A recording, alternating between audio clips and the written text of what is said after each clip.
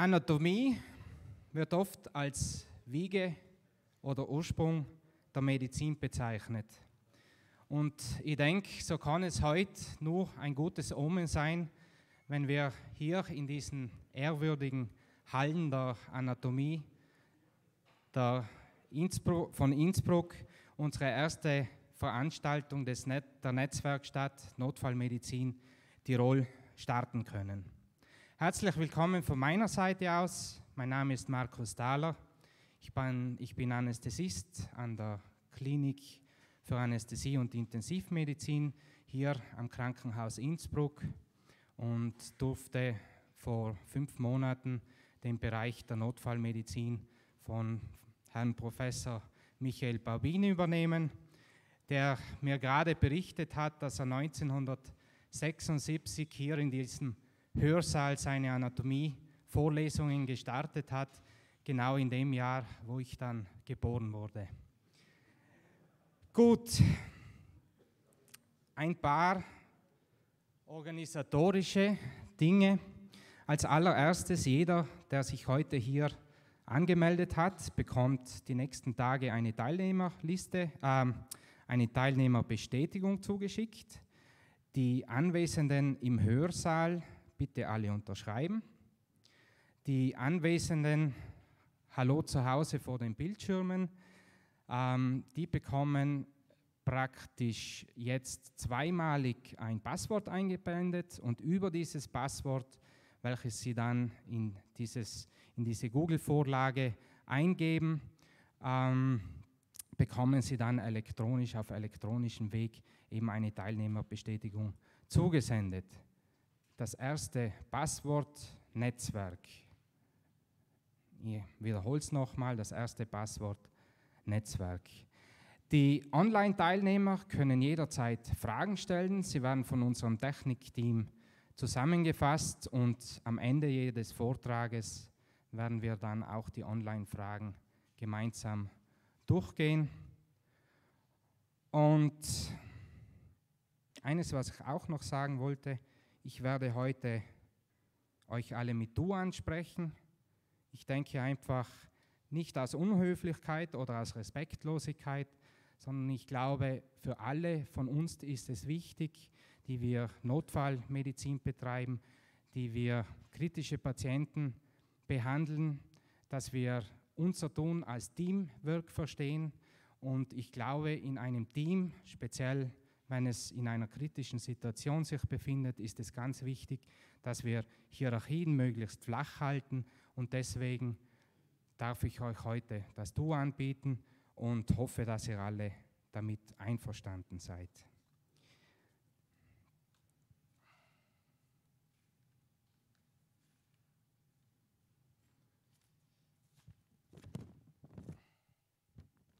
Ganz auswendig schaffe ich es nicht ist doch ein bisschen viel.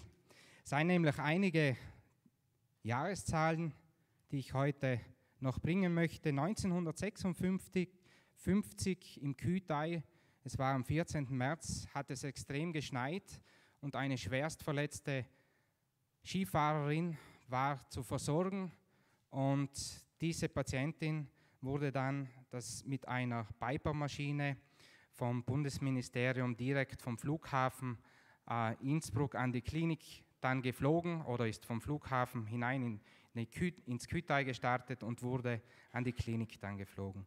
Das gilt als die erste Luftrettung im alpinen Raum in Österreich. 1975 wurde dann das erste Mal ein Notarztwagen in den Probebetrieb genommen.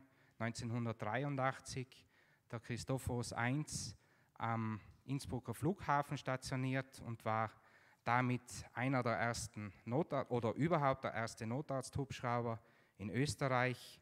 Weitergegangen ist es dann mit 1985, als dann durch die Klinik für Anästhesie der Notarztwagen in den Dienst gestellt wurde und mittlerweile im Jahr 2000 wurde dann das NEF Innsbruck, Innsbruck Land implementiert und rundherum sind auch in dieser Zeit viele, viele, viele, sehr viele andere Notarztstützpunkte und Hubschrauberstützpunkte im Land Tirol entstanden.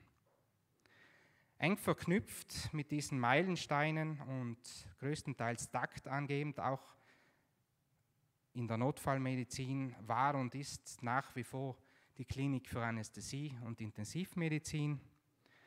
Und es freut mich daher ganz besonders, dass ich unsere neue Klinikdirektorin heute vorstellen darf, Frau Professor Barbara Sinner, die ich jetzt gerne um ein paar begrüßende Worte bitten darf.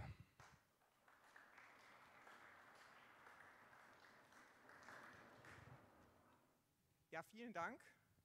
Ich habe mich auch ein bisschen vorbereitet, damit ich niemand vergesse vor allen Dingen. Ich darf Sie ganz herzlich, sehr geehrte Kolleginnen und Kollegen, ähm, begrüßen hier.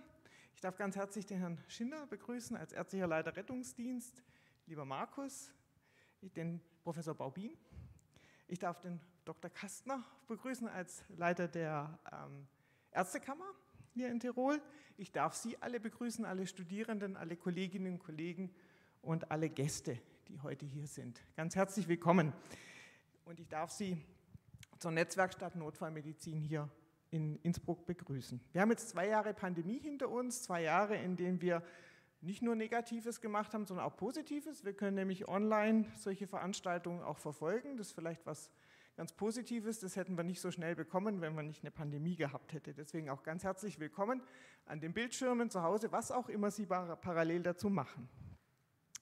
Ich habe hier in der Klinik und auch in meiner alten Klinik ganz oft den Satz gehört, und dann kam Corona dazwischen. Und Corona hat uns in vielen Dingen zwei Jahre gekostet. Und wir haben nicht nur die Nase voll, sondern wir wollen auch mal wieder nach vorne schauen und neue Projekte anpacken. Und das machen wir auch heute hier mit der Netzwerkstatt Notfallmedizin. Und ähm, die Notfallmedizin ist hier in Innsbruck ja ein richtig wichtiges Thema. Wir haben hier, wie ich gesehen habe, über 19.000 in Tirol, über 19.000 Notarzteinsätze. Davon sind 20 Prozent unfallchirurgisch, also über 3.500 Notarzt, äh, Notarzteinsätze. Und deswegen ist es ganz wichtiges Anliegen, dass wir hier die Qualität der Patientenversorgung vielleicht irgendwie verbessern. Die Frage ist nicht nur das Wie, sondern auch, wie wir das am besten machen können. Und da hat Herr Professor Aurora heute zusammen mit seinem Oberarzt die äh, schwere Aufgabe, uns nahezubringen, ob das Thema ähm, Traumaregister und Teilnahme im Traumaregister die Versorgung der Patienten hier verbessert. Und im zweiten Teil wird dann der Dr. Armin Größbacher aus meiner Klinik darüber sprechen, ob eine strukturierte Patientenübergabe nicht nur innerhalb des Rettungsdienstes, sondern auch innerhalb der Klinik eine ganz wichtige Aufgabe im Zusammenhang mit der Verbesserung der Patientenversorgung einnimmt. Und deswegen ähm, möchte ich mich zunächst schon gleich mal bei allen Vortragenden ganz herzlich bedanken, dass Sie das übernommen haben, heute hier und auch bei den Organisatoren für die tolle Organisation und wünsche uns allen einen wunderschönen, interessanten, spannenden Abend. Vielen Dank.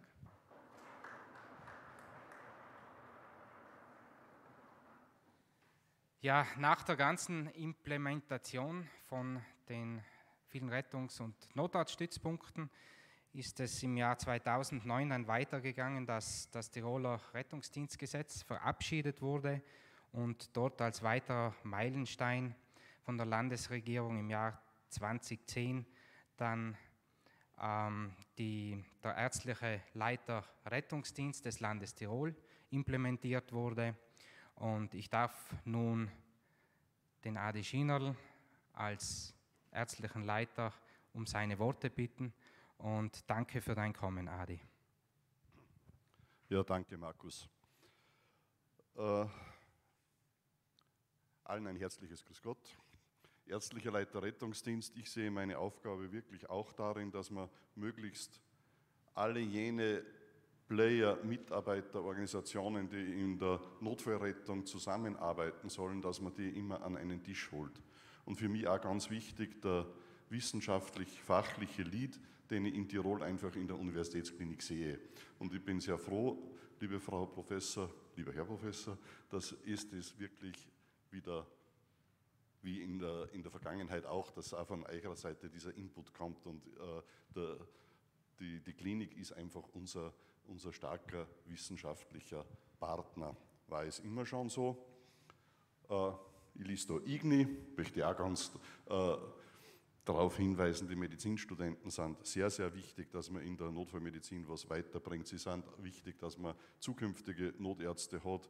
Äh, und weil du Jahreszahlen gesagt hast, weiß keiner mehr, na der Stefan wird es noch wissen, äh, unser Ärztekammerpräsident war ja Anfang der 90er Jahre Fachschaftsvorsitzender. Und die Initiative, dass überhaupt einmal äh, in der damals neuen Studienordnung, jetzt schon uralten Studienordnung, äh, nach dem Erste-Hilfe-Praktikum eine Vorlesung Notfallmedizin, zuerst als Freifach, dann als Wahlfach stattgefunden hat, ist ja durchaus auf studentische Initiative damals aus der Fachschaft Medizin gekommen. Und es ist schön, dass die Medizinstudenten nach wie vor in Innsbruck besonders aktiv sind und sie als IGNI äh, zusammengeschlossen haben und uns auch hier in dieser Netzwerkstatt sehr, sehr unterstützen. Netzwerkstatt heißt, wir, äh, wir netzwerken zusammen. Es freut mich auch, dass wirklich viele, die zu dem Netzwerk gehören, da sind. Der Rettungsdienst Tirol äh, vertreten durch den Geschäftsführer der RD GmbH, Andreas Kahl. Äh, Notarzt ist nie alleine tätig. Wer glaubt, Notarzt ist äh, irgendwie äh, äh, Alleinunterhalter? Nein, wir sind unbedingt nur dann stark, wenn wir im Team arbeiten. Team Leitstelle Tirol gehört natürlich auch unbedingt dazu. Rettungsdienst, Leitstelle, Notarztdienst, das gehört zusammen. Nur gemeinsam arbeiten wir richtig und in, natürlich gibt es auch andere Organisationen, die in ihren Spezialbereichen mit uns zusammenarbeiten und wichtig sind. Bergrettung, äh, Markus Isser ist da und das Land Tirol ist für uns natürlich erstens Auftraggeber, zweitens Ansprechpartner. Freut mich, dass die Frau Dr. Appeldorn aus, dem, aus der Abteilung Krankenanstalten, aus der Direktion für Gesundheit da ist, äh, die für unsere Ansprechpartner ist, wenn es um medizinisch-fachlichen, äh, Juristen haben wir genug in der Landesregierung, aber medizinisch-fachliche Ansprechpartner, da bist du für uns einfach äh, wirklich wichtig und danke, dass du da bist. Ich glaube, ich habe jetzt alle genannt. Danke, Markus, für die Initiative. Nur mal äh, Netzwerkstatt, dass das nicht von oben herab kommt, sondern aus der Klinik heraus, dass man sagt, wir machen mehr miteinander. Äh, wir schauen, dass wir da eine lang wirksame Fortbildungsreihe machen. Ich glaube, das war deine Idee, gemeinsam mit Armin Größbacher.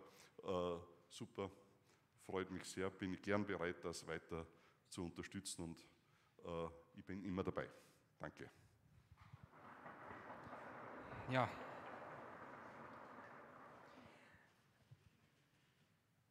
Die vielen Organisationen der Präklinik seien genannt worden. Aber natürlich hört es nicht auf an der Tür des Krankenhauses.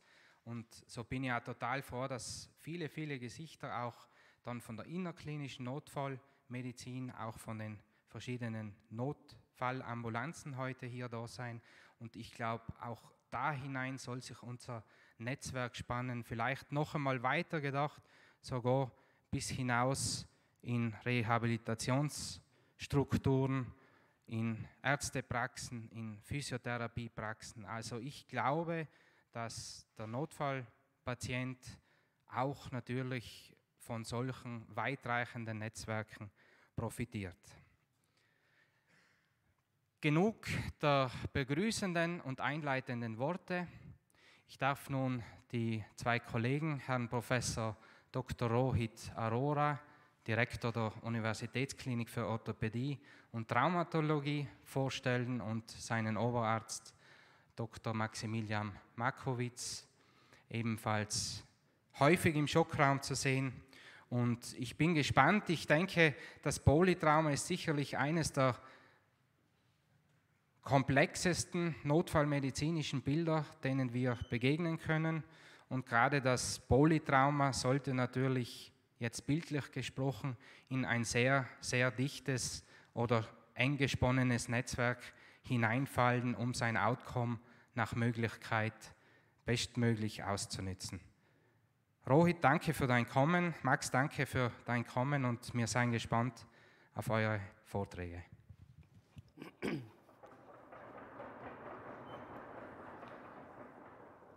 Ja, lieber Markus, Lieber Adi, danke vielmals für die Einladung.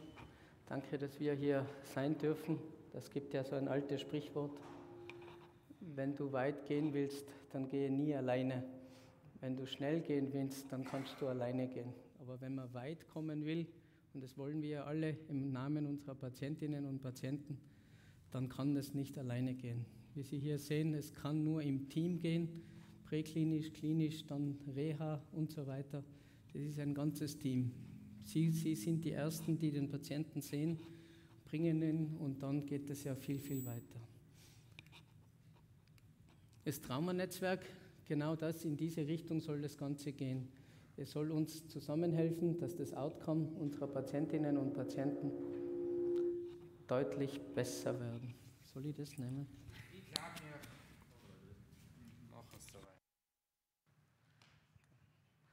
Und genau in diese Richtung geht dieses Traumanetzwerk. Es ist leider ein Trauerspiel, das Österreich bis jetzt auf Salzburg sonst und Kärnten mittlerweile sonst kein einziges Bundesland hat, wo sich das implementieren konnte. Michael Baubin ist da. Wir haben auch früher schon versucht, dieses Traumanetzwerk irgendwie zu installieren, aber es war nicht möglich. Warum es nicht? Es ist immer an der Politik. Bis zum Landhaus sind wir gekommen und dann ging das Ganze wieder los. Ja, brauchen wir einen Anschluss an das Traumanetzwerk Deutschland. Und da scheitert es immer wieder. Da gibt es ganz andere Einschlusskriterien, da ist juristisch anders und so weiter. Und wir sind leider Gottes immer wieder stehen geblieben. Warum wir uns das aber wünschen, Sie sehen das jetzt an der, an der Landkarte von Deutschland, wie viele Traumazentren es eigentlich dort gibt. Und mittlerweile, ich kann jetzt nur von äh, Südbayern berichten, da kenne ich einige von diesen Vorständen und die sind alle heilfroh, dass das so gut funktioniert. Deswegen möchte ich es Ihnen jetzt auch kurz äh, vorstellen. Die meisten kennen das ja schon, aber gerade für die Jüngeren, warum das so für uns so wichtig ist. Es gibt eben diese vier, vier Stockwerke, vier Phasen. Das wäre die Präklinik, dann der Schockraum und die anschließende Operation, Intensivstation und die Entlassung. Das sind die Sachen, wo wir unser Outcome verbessern können und das sind genau die Sachen, die wir brauchen. Dafür, für dieses Traumanetzwerk gibt es eben diese Versorgungsstufen. Das ist das überregionale Traumazentrum, das ist das Haus der maximalen Versorgung, das wären zum Beispiel wir weil wir hier einfach alles anbieten, von der Neurochirurgie, von der Gefäßchirurgie, von der plastischen Chirurgie. Und somit äh, bilden wir das da. Das sind auch dann diese Aufnahmekapazitäten äh, erwähnt in diesen, dafür gibt es alles Protokolle, ist ganz strikt geführt. Dann kommt das regionale Traumazentrum, das ist eine umfassende Notfallversorgung, aber Sie müssen einen, einen Konsiliardienst haben, Kooperation mit der Neurochirurgie, Gefäßchirurgie, Viszeral und die Radiologie. Das heißt, die müssen nicht unbedingt im Haus sein, aber die müssen innerhalb von 20 Minuten, glaube ich, ist es so, dass sie im Haus sein müssten, um dann die Diagnostik durchzuführen und äh, erst zur Versorgung. Das dritte, die dritte Stufe ist das lokale Traumazentrum. Das ist nur mehr für die Grundversorgung. Die brauchen nur eine Kooperation mit Viszeral, Allgemeinchirurgie und die Radiologie. Und hier ist es dann schon so weit so, dass man auch Teleradiologie im Sinne eines lokalen Traumazentrums äh, akzeptiert und auch äh, sozusagen das äh, zulässt. Mindestanforderung an ein Traumanetzwerk, da scheitert es jetzt dann auch schon langsam. Das heißt, wir brauchen ein überregionales, zwei regionale und drei lokale. Also da wird schon sehr knapp, wenn man sich das überlegt, wenn wir sagen, wir brauchen ein Traumanetzwerk Tirol. Und da wird es natürlich auch schon sehr, sehr logistisch, sehr problematisch. Bekommen wir überhaupt, können wir die Mindestanforderungen überhaupt erfüllen? Weil es gibt nicht jedes Haus, was sich zertifizieren lassen will, möchte und es will nicht jedes Haus unbedingt zu diesem Traumanetzwerk hinzugehören, weil das verbunden ist, leider Gottes, mit Verantwortung. Das Arbeitszeitgesetz hat es uns auch nicht leicht gemacht. Das macht es natürlich sehr, sehr problematisch, dass die Players sozusagen dann auch wirklich vorhanden sind. Als Trauma können wir uns nicht aussuchen, wann das kommt, wie es kommt und äh, wie gesagt, wie das dann weitergeht. Wenn man ein Traumanetzwerk hat, dann muss man die Patienten auch einschließen. Dafür gibt es das Traumaregister. Das sind jetzt zwei Paar Schuhe, wird immer wieder verwechselt. Man kann zu einem Traumaregister äh, beitreten, ohne dass man in einem Traumanetzwerk ist. Zum Beispiel wäre das bei uns Traumaregister der, der Deutschen Gesellschaft für Unfallchirurgie und das wäre dann Südbayern. Aber da gibt es jetzt auch wieder Probleme.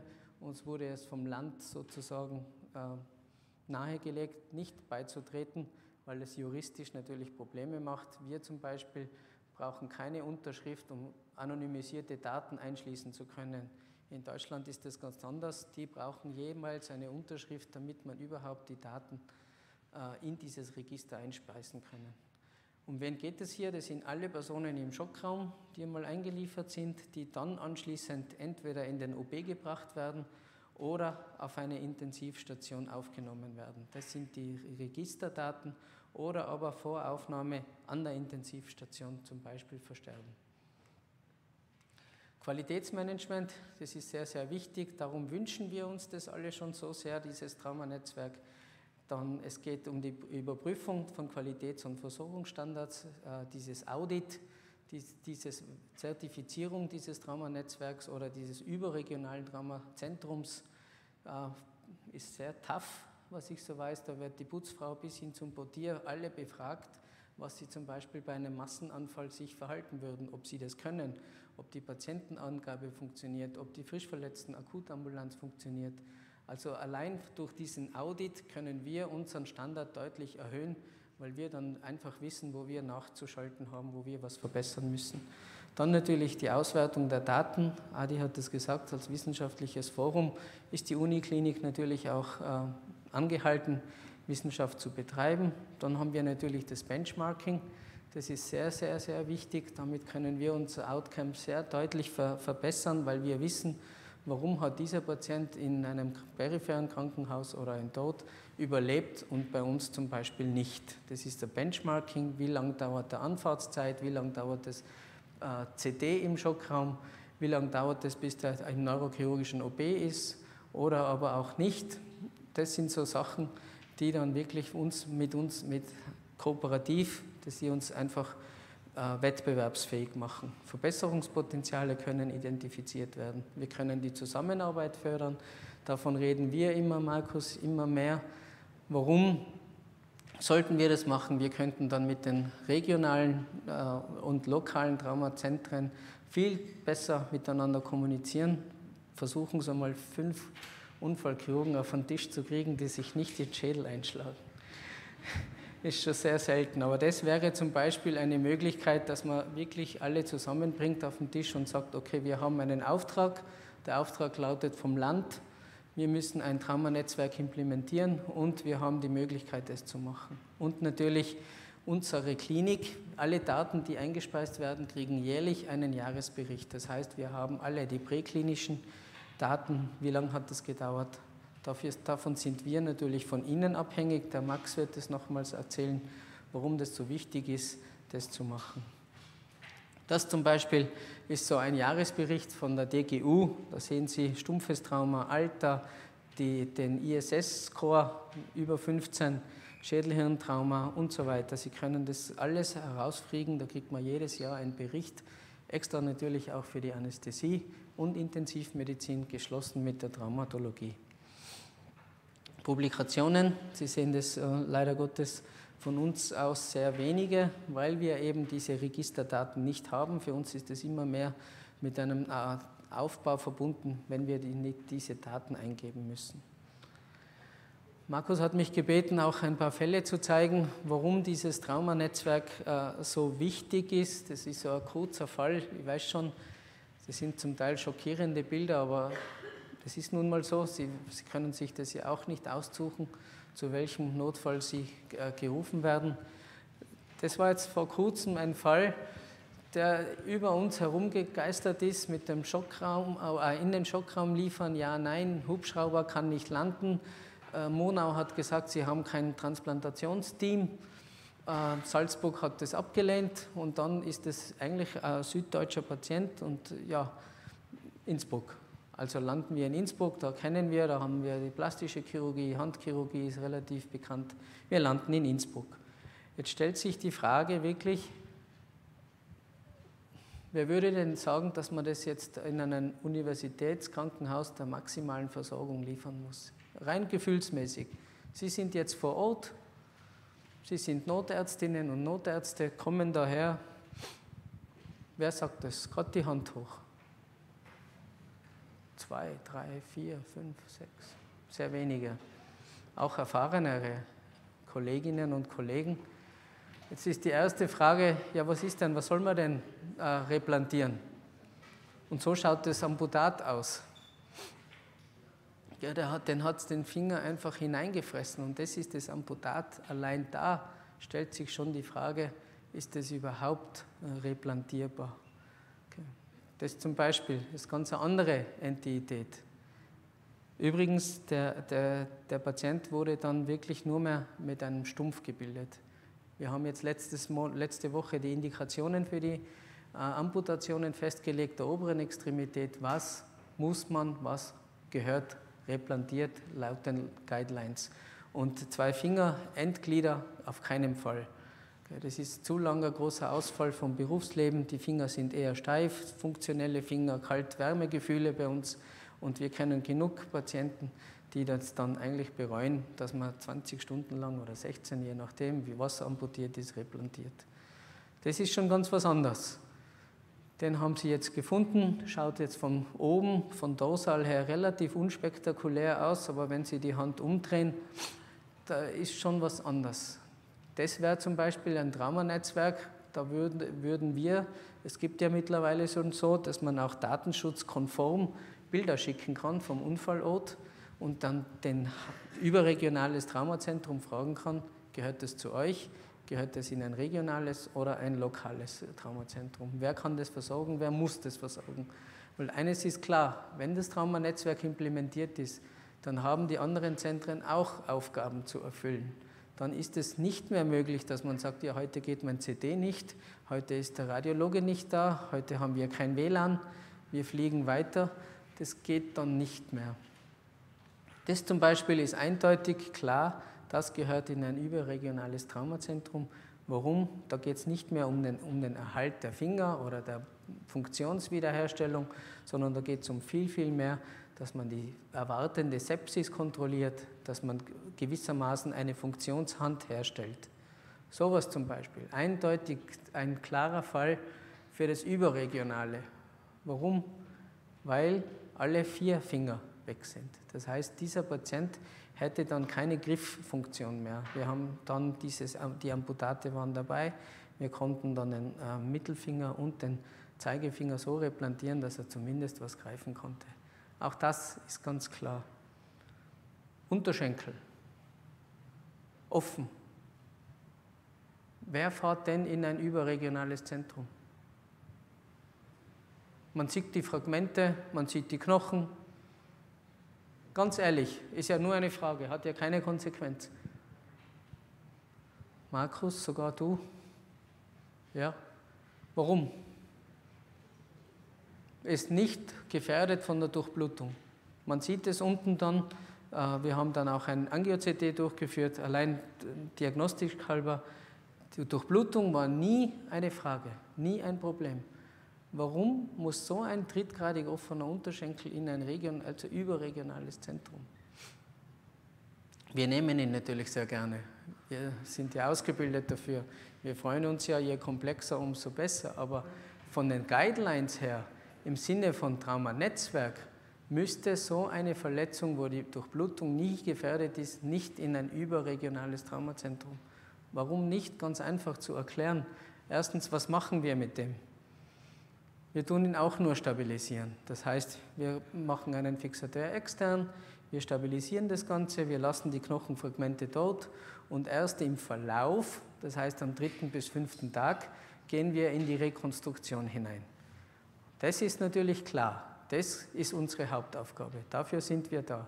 Aber es könnte genauso gut so ein peripheres Krankenhaus, ein regional als Zentrum des, des Erstbehandlung machen. Das heißt, ein Fixateur aufbauen, eine Kunsthaut anlegen und dann sagen, so, wir transferieren diesen Patienten koordiniert, ausgemacht, stabil, sauber, mit Antibiose, ohne Stress, schicken wir den zu einem äh, Versorgungshaus, wo wir den Patienten ausversorgen. So ist das Ganze ausgeheilt. zum Zeit müssen wir uns irgendwie äh, deklarieren, in welche Richtung wir wollen, damit die, die Politik sagt, nicht in das DGU. Das heißt, wir dürfen uns nicht in Südbayern, das, wir müssen uns in Salzburg orientieren. Wir brauchen einen zugeordneten Netzwerk. Da ist der Professor Völkel, der Wolfgang, der das Ganze koordiniert und sehr mittlerweile etabliert hat. Wir wünschen uns sehr viel von diesem Traumanetzwerk. Die Bezirkskrankenhäuser, wie gesagt, wir glauben auch, dass wir dann miteinander viel besser kommunizieren. Und äh, im Moment hängen wir eben bei den ganzen Überlegungen. Wir haben hohe Erwartungen. Wir könnten uns das auch sehr gut vorstellen. Frau Professor hat das vorher erwähnt. Die Pandemie hat uns einiges gezeigt. Wir werden online überall in die ganze Welt hinausgestrahlt. Dann kann man auch vom Unfallort einmal datenkonform, das muss man natürlich machen, WhatsApp ist nicht gültig, soviel ich weiß, dann muss man datenkonform, datenschutzkonform ein Foto schicken, sagen so, wohin, wann fliege ich, wohin fliege ich. Dann natürlich auch dieser geplante Interhospitaltransfer, bessere Kommunikation zwischen Notärzten und Klinik, das ist ja immer wieder auch eine Schaltstelle äh, vor dem Schockraum, damit wir unsere Patientinnen besser behandeln können. Das ist zum Beispiel so läuft es im Moment. Ähm, die Stühle stehen irgendwo, alle haben zwar eine Freude, man kann sich irgendwo am Strand Platz nehmen, man hört das Meer rauschen, aber so ungefähr stellen wir uns das vor, wenn das Traumanetzwerk irgendwie implementiert wurde. Danke vielmals.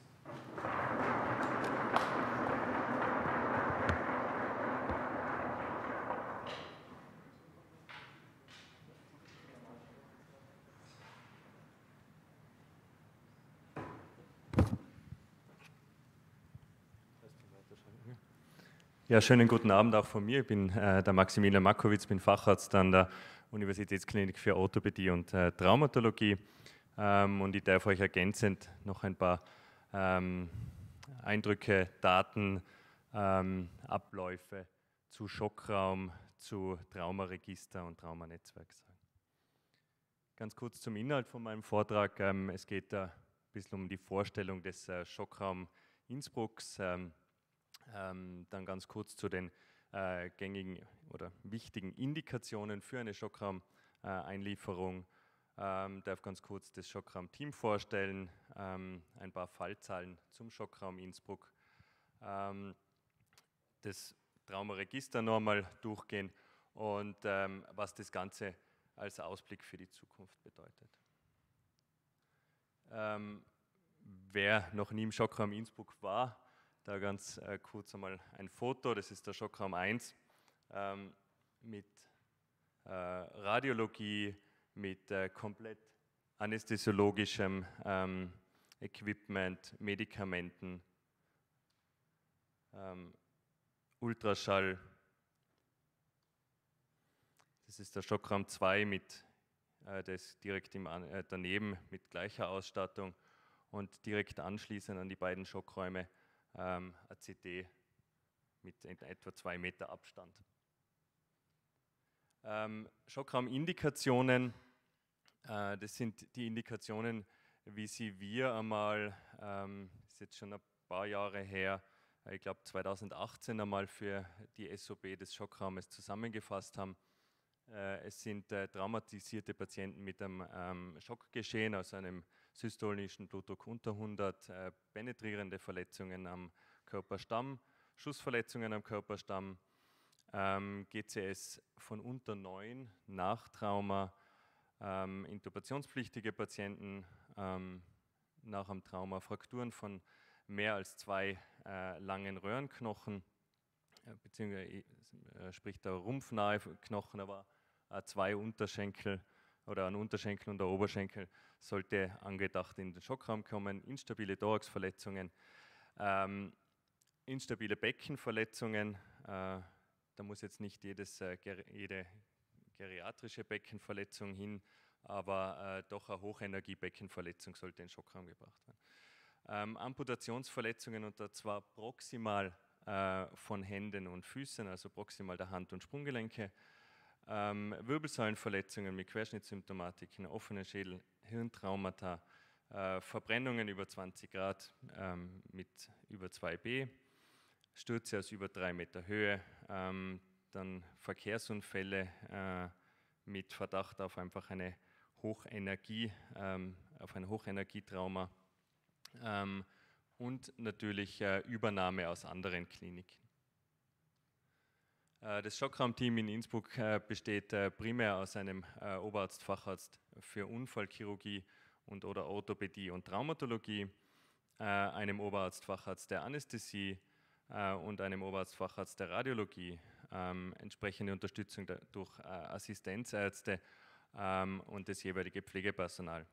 Je nach Bedarf, ähm, entweder schon direkt bei klarem bei klarer Präklinik, äh, wenn der Notarzt das zum Beispiel schon anfordert ähm, oder nach äh, begonnener oder durchgeführter Diagnostik werden dann Ärzte anderer Kliniken, äh, zum Beispiel Neurochirurgie, Allgemeinchirurgie, Gefäßchirurgie etc.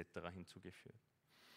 Ähm, ganz ein paar Zahlen zu unserem Schockraum und zwar diese Zahlen ähm, haben wir jetzt in, in der Vorbereitung auf den Vortrag aus dem KISS herausgebracht. Ähm, das sind äh, Gesamtzahlen äh, Patientinnen, die insgesamt äh, seit 2018 so behandelt worden sind. Ähm, und dann in, in der zweite Balken zeigt dann diese Patienten, die dann als Hauptdiagnose im ICD-10 mit einer S- oder T-Diagnose, sprich einer Trauma, äh, traumatologischen Diagnose versehen worden sind. Ähm, da ganz interessant zu sehen, man sieht an den Zahlen zwar schon den Rückgang in der Pandemie, ähm, allerdings weniger wie vielleicht erwartet. Und das, was auch noch ganz interessant ist, die äh, nicht traumatologischen Patienten, die über unseren Schockraum behandelt worden sind, sind aber in den letzten vier Jahren ähm, immer um 250 und haben sich da gar nicht verändert. Ähm, wohin gehen die Patienten aus dem Schockraum? Äh, das sind nochmal äh, die großen Balken, die Gesamtzahlen. Äh, der zweite Balken, das sind die Patienten, die nach Schockraumabklärung äh, auf einer Normalstation äh, aufgenommen werden. Und der, der türkise Balken zeigt die Patienten, welche nach Schockraumabklärung auf einer Intensivstation oder äh, IMCU, sprich das sind auch Observationsstationen, aufgenommen werden. Ähm, sind interessante Zahlen, allerdings äh, wären andere Fragen sicher auch noch interessant. Ähm, lasst sich herausfinden, wie viele Patienten oder wie viele dieser Patienten waren monoverletzt, wie viele dieser Patienten hatten wirklich ein, ein Polytrauma. Ähm, kann man das auch nach einer Körperregion zum Beispiel auftrennen, ähm, nach äh, gängigen Polytraumaschlüssel, dem ISS. Ähm, und lassen sich aus diesen äh, Zahlen einzelne Maßnahmen evaluieren, äh, sprich ähm, lässt sich herausfinden, ob ein ähm, schwer beckenverletzter äh, Patient ein Beckengurt prä, präklinisch gehabt hat oder nicht.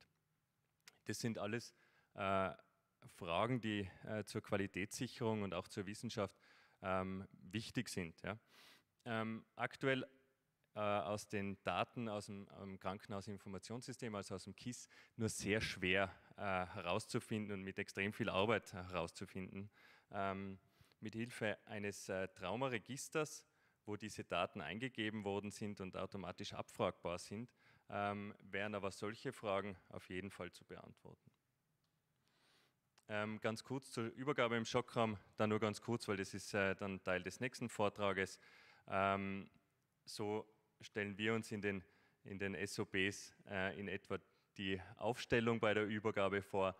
Ähm, was sich gezeigt hat, ist, äh, dass mit standardisierten Übergaben ähm, nach einem Bogen, nach einem Schema ähm, viel weniger vergessen wurde, die Information wesentlich schneller ähm, äh, ankommt.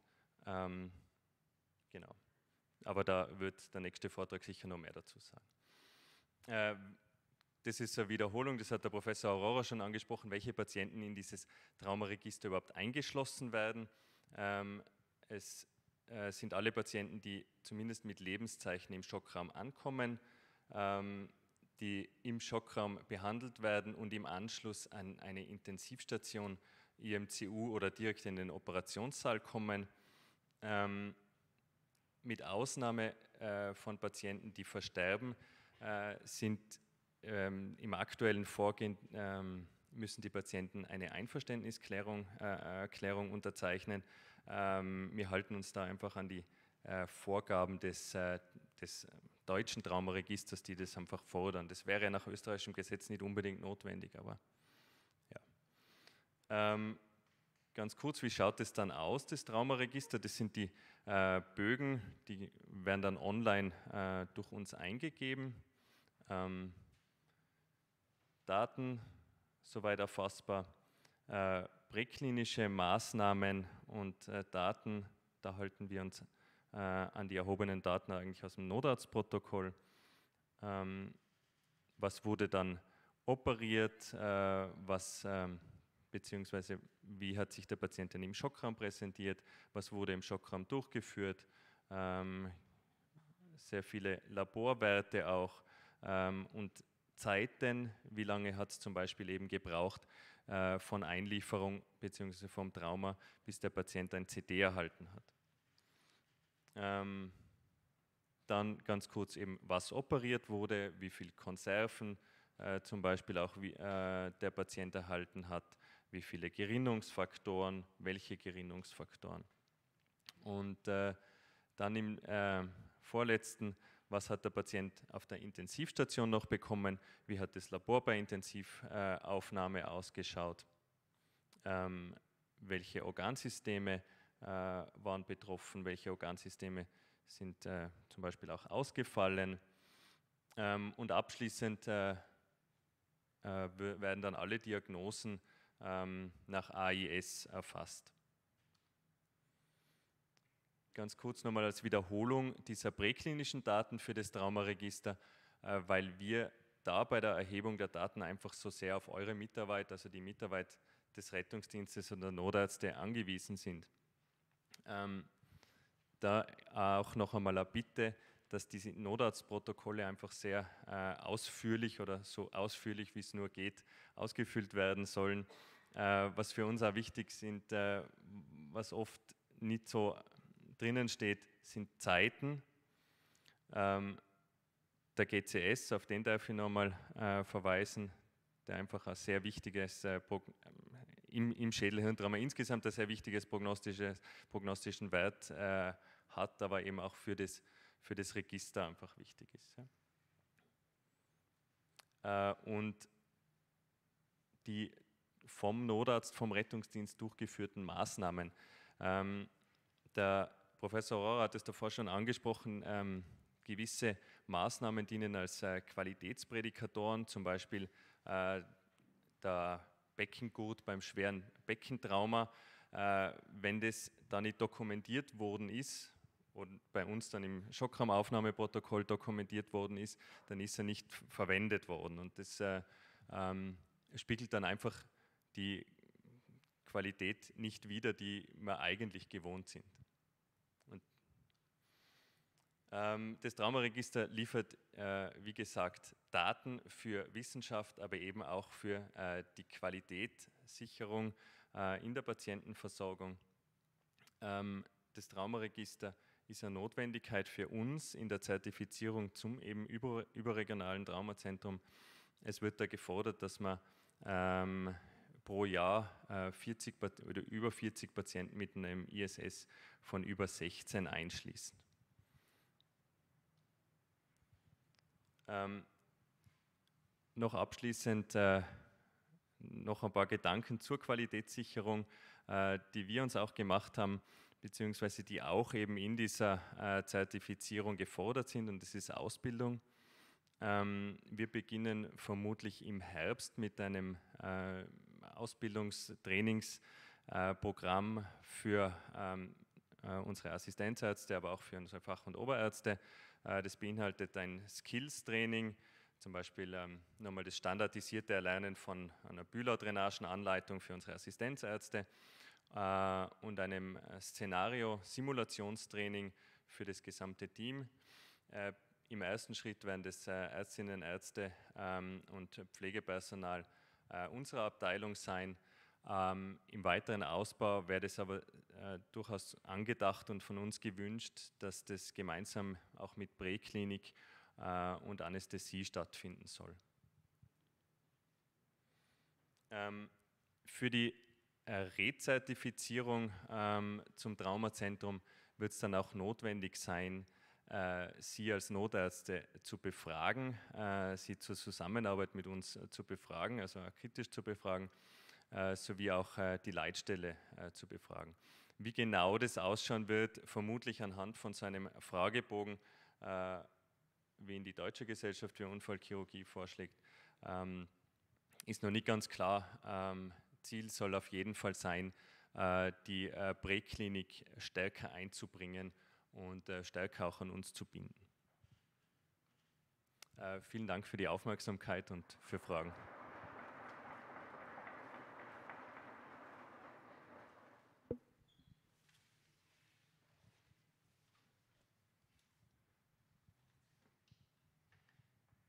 Gibt es Fragen aus dem Publikum? Armin. Ich hätte gleich, hallo, hallo. Ich hätte gleich eine Frage und zwar, ähm, ihr habt ja beide angesprochen, dass es seitens der äh, Klinik für Orthopädie und Unfallchirurgie durchaus ähm, Vorgaben gibt, Vorstellungen, was in einen Schockraum gehört, was vor allem in ein Schwerpunkthaus gehört. Ähm, setzt ihr das als Möglichkeit, das äh, als Kliniker nach außen zu vermitteln, was ihr euch da genau wünschen würdet? Und dann darf ich gleich in die Ecke Leitstelle RD schauen. Seht ihr eine Möglichkeit, das so zu implementieren in unseren Systemen? denke jetzt an den KPC, dass ich draufklicken kann, irgendwo äh, Schockraum, ja, nein, dass ich das direkt vor Ort für mich noch einmal durchgehen kann. Muss ich diesen Patienten in einen Schockraum bringen? Muss ich den nach Innsbruck fahren oder fliegen oder kann ich das ins Periphere machen? Ja, ich habe eher eine Liste mit diesen ähm, Indikationen. Äh, für einen Schockraum sind das die Indikationen. Das sind jetzt nicht unbedingt die Indikationen, ähm, Uniklinik, muss man auch dazu sagen. Also es ist ja durchaus möglich, dass man ähm, einen Patienten mit einem beidseitigen Oberschenkelbruch in den Schockraum im Krankenhaus zusammenbringt, wenn er sonst nichts hat. Aber es, ist, äh, es sollte einfach ähm, jemand, der so schwer verletzt sein soll, da sollte man alert sein, ob der nicht mehr hat. Ja? Und äh, im Zweifel sind wir natürlich als letzte Anlaufstelle für Tirol da und wollen das ja auch sein. Also das ist sicher nicht falsch zu verstehen. Ähm, wir wollen aber verhindern, dass Patienten, die, ähm, die bei uns auf eine, auf eine Operation warten, ähm, dann zum Beispiel nicht drankommen, weil wir ähm, einfach im Schockraum gebunden sind mit einem Patienten, der aber sehr wohl in einem anderen Krankenhaus ab, zumindest einmal anbehandelt hätte werden können ich tue mich wahrscheinlich nur draußen als Notarzt einfach ein bisschen leichter mit, dem Gewissen und so, wenn ich klar habe, die Uniklinik würde sich wünschen, den zu bekommen, dann rentiert es sich, den weiter zu fahren oder vor allem das Gegenteil zu sagen, aus Sicht der Uniklinik ist es nicht nötig, den amputierten Finger nach Innsbruck zu fahren. Und wenn das von eurer Seite aus quasi als Empfehlung es gäbe, taten wir uns oder IMI zumindest als, als Notarzt leichter. Ja, man bei uns, ich weiß nicht, ob die alle wissen, die Logistik sobald ein Schockraum angekündigt ist, ist es ja oft so, wenn die OP nicht schon läuft, dann wird ja mal alles gestoppt, weil wir wissen ja nicht, was kommt. Und genau dies, das tut uns dann halt weh, wenn dann solche zwei Finger kommen oder etwas, wo man dann sagt, okay, wir haben jetzt eineinhalb Stunden, eine Stunde, zwei Stunden, je nachdem, wie lange die Anfahrt dauert, verloren. Somit ist der OP leer gestanden, ist ja klar.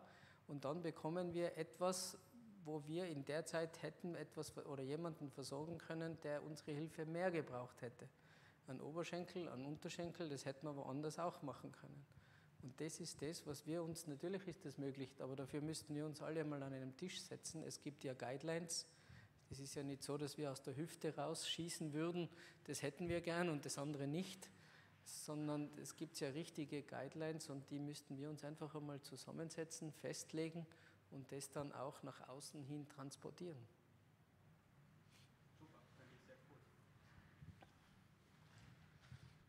Noch Fragen aus dem Auditorium? Sonst darf ich von Dr. Weibeluschi eine Frage an euch weiterleiten. Und zwar ist es manchmal wohl so, dass trotz Anforderungen durch den Notarzt andere Fachdisziplinen gerne im Schockraum zu haben, das nicht immer funktioniert. Gibt es vielleicht aus eurer Sicht hier Triggerwörter, die euch gleich die Beiziehung eines Neurochirurgen, eines Thoraxchirurgen oder sonstiger Fachrichtungen so quasi in den Kopf kommen lassen, dass, dass man sagt, okay, jetzt brauche ich den auch gleich dazu? Ja, also wenn, man, äh, wenn der Notarzt berichtet von einem Patienten, den er gerade bei GCS 3 intubiert hat und mit einem Verdacht auf Schädelhirntrauma zu uns bringt, dann rufe ich schon gerne mal den Neurochirurgen schon davor an, dass die Bescheid wissen. Okay. Möglicherweise glaubt ihr, dass wir hier so einen quasi Indikationskatalog für besondere Notfälle brauchen? Würde uns sowas weiterhelfen? Im Chat haben doch einige Notärzte das Gefühl, dass ihnen hier nicht immer Gehör geschenkt wird, wenn sie sagen, die, das Messer steckt in der Brust und sie kommen dann und es ist kein Thoraxchirurg oder Herzchirurg im Schockraum. Ich kann mir jetzt selber an so einen Fall nicht erinnern. Ähm, penetrierendes, äh, penetrierende äh, Körperstammverletzung, ähm, der von seinen Vitalparametern stabil ist, der braucht eine CT. Das können wir mit den Radiologen durchaus einmal machen und dann je nach Bildgebung äh, den Kollegen dazuholen. Äh, eine instabil penetrierende Thoraxverletzung haben wir jetzt Gott sei Dank in den letzten Jahren nie gehabt. Äh, den kann man aber so anmelden und dann würden, glaube ich, wir durchaus sofort den Herzchirurgen dazuholen. Dann, es ist doch eine viel bessere Situation in Österreich, dass Notfallpatienten im Nachhinein aufgeklärt werden können. Warum sollte man genau diese sperrige Vorschrift von Deutschland übernehmen? Wie wird überhaupt ein Patient eingeschlossen, wenn er intubiert in den Schockraum kommt? Die Patienten werden im Nachhinein eingeschlossen, und zwar sobald sie äh, aufklärbar sind irgendwo. Also ähm, sind äh, ich und äh, zwei Assistentinnen, die da die Arbeit machen. Ähm, wir kriegen eine Liste und schauen uns diese Patienten an und sobald sie aufklärbar sind, manchmal sind sie noch auf der Intensivstation, meistens sind sie dann schon auf Normalstation, äh, wird mit denen geredet und dann sind, ich würde mal sagen, 98 äh, Prozent damit einverstanden, da mitzumachen und dann unterschreiben sie das auch. Ähm, halten uns da aber einfach an die, an die, an die Vorgaben der DGU. Ähm, die das fordern, weil diese Daten ja in Deutschland verarbeitet werden und ähm, äh, die sind der Rechtsmeinung, dass das auch bei uns einfach äh, nach deutschem Recht die Patienten aufgeklärt werden müssen. In einem österreichischen Traumaregister wäre das vielleicht nicht mehr notwendig.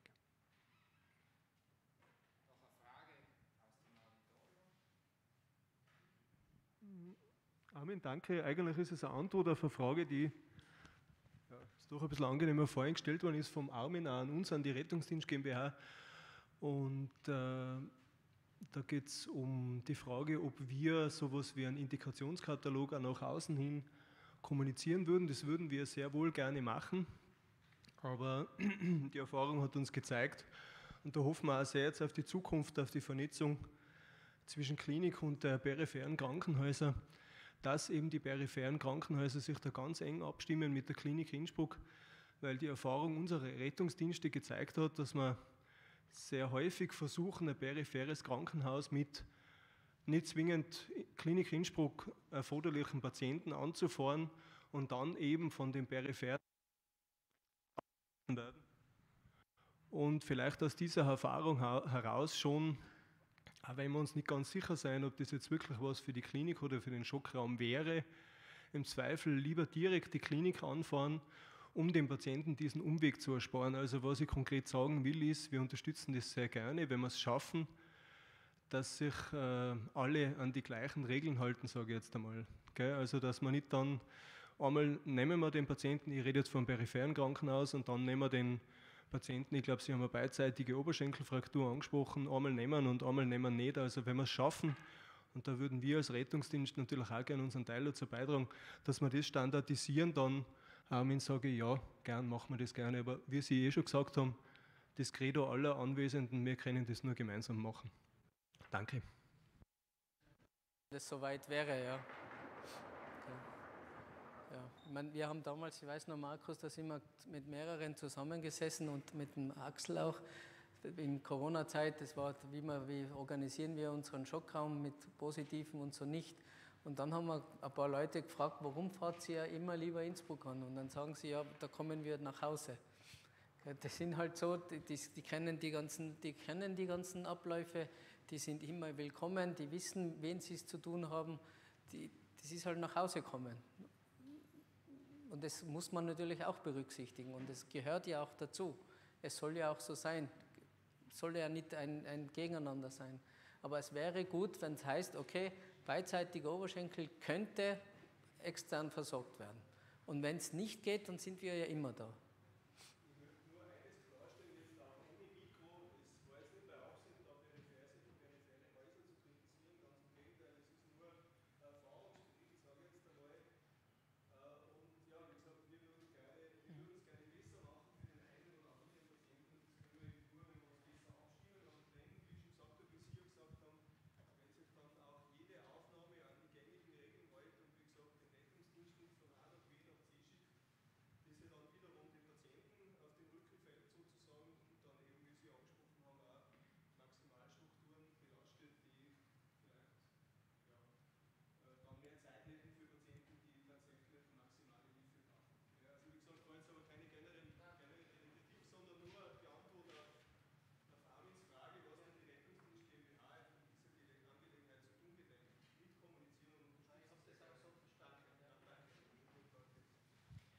Dann noch eine letzte Frage aus dem Chat, dann gehen wir mit dem nächsten Vortrag weiter. Besteht die Möglichkeit, bei schlechter Verfügbarkeit eines Notarztes einen Patienten auch ohne Notarzt durch den Rettungsdienst in einen Schockraum zu bringen bzw. anzumelden? Ähm, natürlich, wenn, er, wenn der Patient, also wenn man keinen Notarzt verfügbar hat, dann besteht natürlich auch die Möglichkeit für den Rettungsdienst unseren Schockraum anzufahren. Äh, wir bitten halt trotzdem um eine strukturierte Anmeldung, weil es bringt nichts, wenn die im Schockraum stehen und wir wissen nichts davon. Ähm, und äh, ja, natürlich, ja. Ja, danke schön für den ersten spannenden, wirklich eigentlich fächerübergreifenden Vortrag, wie wir jetzt gesehen haben. Und wir gehen jetzt weiter und Konrad Lorenz den wir alle, glaube ich, kennen, hat einmal gesagt, dass gedacht nicht gesagt ist, gesagt nicht gehört ist, gehört nicht verstanden ist und verstanden noch lange nicht ausgeführt. Also Kommunikation scheint doch ein bisschen was Komplexeres zu sein und ob uns da eine strukturierte Kommunikation im Sinne einer strukturierten Patientenübergabe weiterhilft oder ob sie eher nur lästig ist, das wird uns jetzt der Armin näher ausführen. Armin selber ist ähm, Anästhesist an der Klinik für Anästhesie und ähm, Rettungsarzt bei der Rettung Innsbruck und selber als Notarzt tätig. Äh, ja, Markus, vielen, vielen Dank. Äh, sehr geehrte Damen und Herren und liebe Mitstreiterinnen in der Notfallmedizin, wir haben uns, wo wir uns das erste Mal zusammengesetzt haben und das Programm für den heutigen Abend überlegt haben, versucht ein Thema zu finden, das jeden und jede, die auch nur irgendwie mit der Notfallmedizin zu tun hat, äh, häufig trifft und sind auch sehr schnell auf das Thema kommen der Übergabe. Wir haben es heute schon von den Kollegen der Unfallchirurgie gehört, das ist jedes Mal ein Thema. Und das ist wirklich jedes Mal und für jeden Patienten, egal wie kritisch oder unkritisch, einfach ein Thema. Und deswegen möchten wir uns mit, dem aktuellen, mit der aktuellen Frage beschäftigen, diese immer mehr aufpoppenden, standardisierten Übergabeschemata, die ja immer mehr werden. Bringt es eigentlich was oder macht es eigentlich mehr Arbeit? Die erste Frage ist einmal, wie häufig ist für einen Patienten denn eine Übergabe? Und der alte Rettungsdienstler wird sagen, naja, wenn ich ihn angebe. Die Situation ist in Wirklichkeit aber wesentlich komplexer. Ich habe für diesen einen Standard-Rettungsdienstpatienten ja schon deutlich mehr Übergaben, weil ich für jeden einzelnen Patienten, für jede Patientin mindestens noch einen Player habe, nämlich die Leitstelle, die sowohl den Erstkontakt mit dem Patienten hat und mir dann ja eine Form der Übergabe, nämlich die Alarmierung gibt. Ja, und dann habe ich je nach, je nach Patient und je nach Ablauf innerhalb des Einsatzes zum Teil wieder eine Übergabe im Sinne der Voranmeldung im Krankenhaus. die danach wieder äh, über die Leitstelle Tirol im Krankenhaus ankommt. Und natürlich, das bleibt ja weiterhin meine persönliche Übergabe, die ich vom äh, Rettungsdienst in das Krankenhaus machen muss. Und jetzt reden wir nur von einem Standard-rettungsdienstlichen Patienten. Jetzt habe ich in doch einem gewissen Prozentsatz der Fälle ja auch noch eine zweite Berufsgruppe, nämlich den Notarzt, die Notärztin mit eingebunden. Und auch hier jedes Mal wieder in jedem einzelnen Schritt die Leitstelle Tirol dazwischen.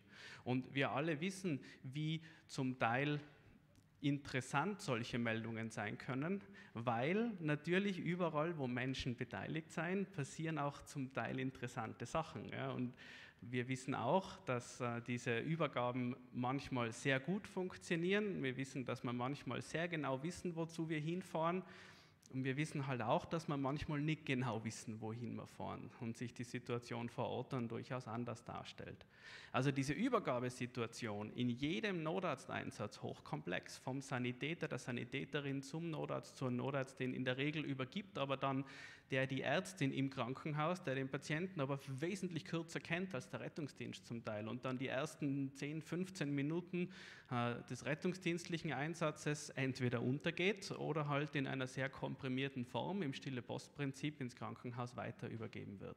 Also für jeden einzelnen Notarzteinsatz schon eine hochkomplexe Sache und da fangen wir noch gar nicht an, damit zu reden, was unsere Partnerorganisationen noch mit einbringen. Die Feuerwehr, die Bergrettung, die Wasserrettung, alles medizinische Organisationen, die allerdings auf was sehr anderes Wert legen wahrscheinlich innerhalb dieses Einsatzes. Und schaffe ich es wirklich von der Bergrettung über den Rettungsdienst zum Notarzt ins Krankenhaus, dabei mit eingeschaltet, mindestens viermal die Leitstelle Tirol, die Informationen, die ursprünglich einmal gesagt wurden, wirklich bis in die Klinik weiterzugeben? Ich glaube nicht, dass das so ohne irgendein System wirklich funktionieren kann. Und dann reden wir ständig vom Krankenhaus. Naja, das ist nicht ein Mensch. Ja? Das Krankenhaus besteht natürlich auch aus einer Reihe von verschiedenen Fachdisziplinen, die alle wieder völlig unterschiedliche Dinge brauchen. Ja? Da reden wir jetzt vom Aufnahmepflegenden, da reden wir von, der, von, der, von dem Aufnahmearzt unterschiedlicher Fachrichtungen. Ja? Da geht es dann weiter auf, auf uh, Operationssäle, auf Intensivstationen. Na, was glaubt denn, was der Intensivmediziner noch von dieser ersten Übergabe von der Bergrettung auf dem Rettungsdienst mitkriege. Wenn überhaupt, dann wahrscheinlich Blödsinn. Also hochkomplexes System.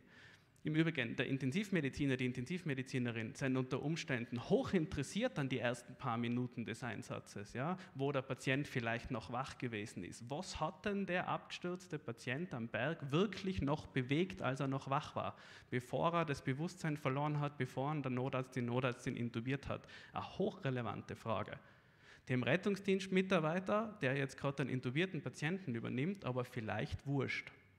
Ja, weil in seinem eigenen Bild jetzt nicht der große Fokus ist. Und da kommen wir jetzt zu einem genau spannenden Bild. Ja.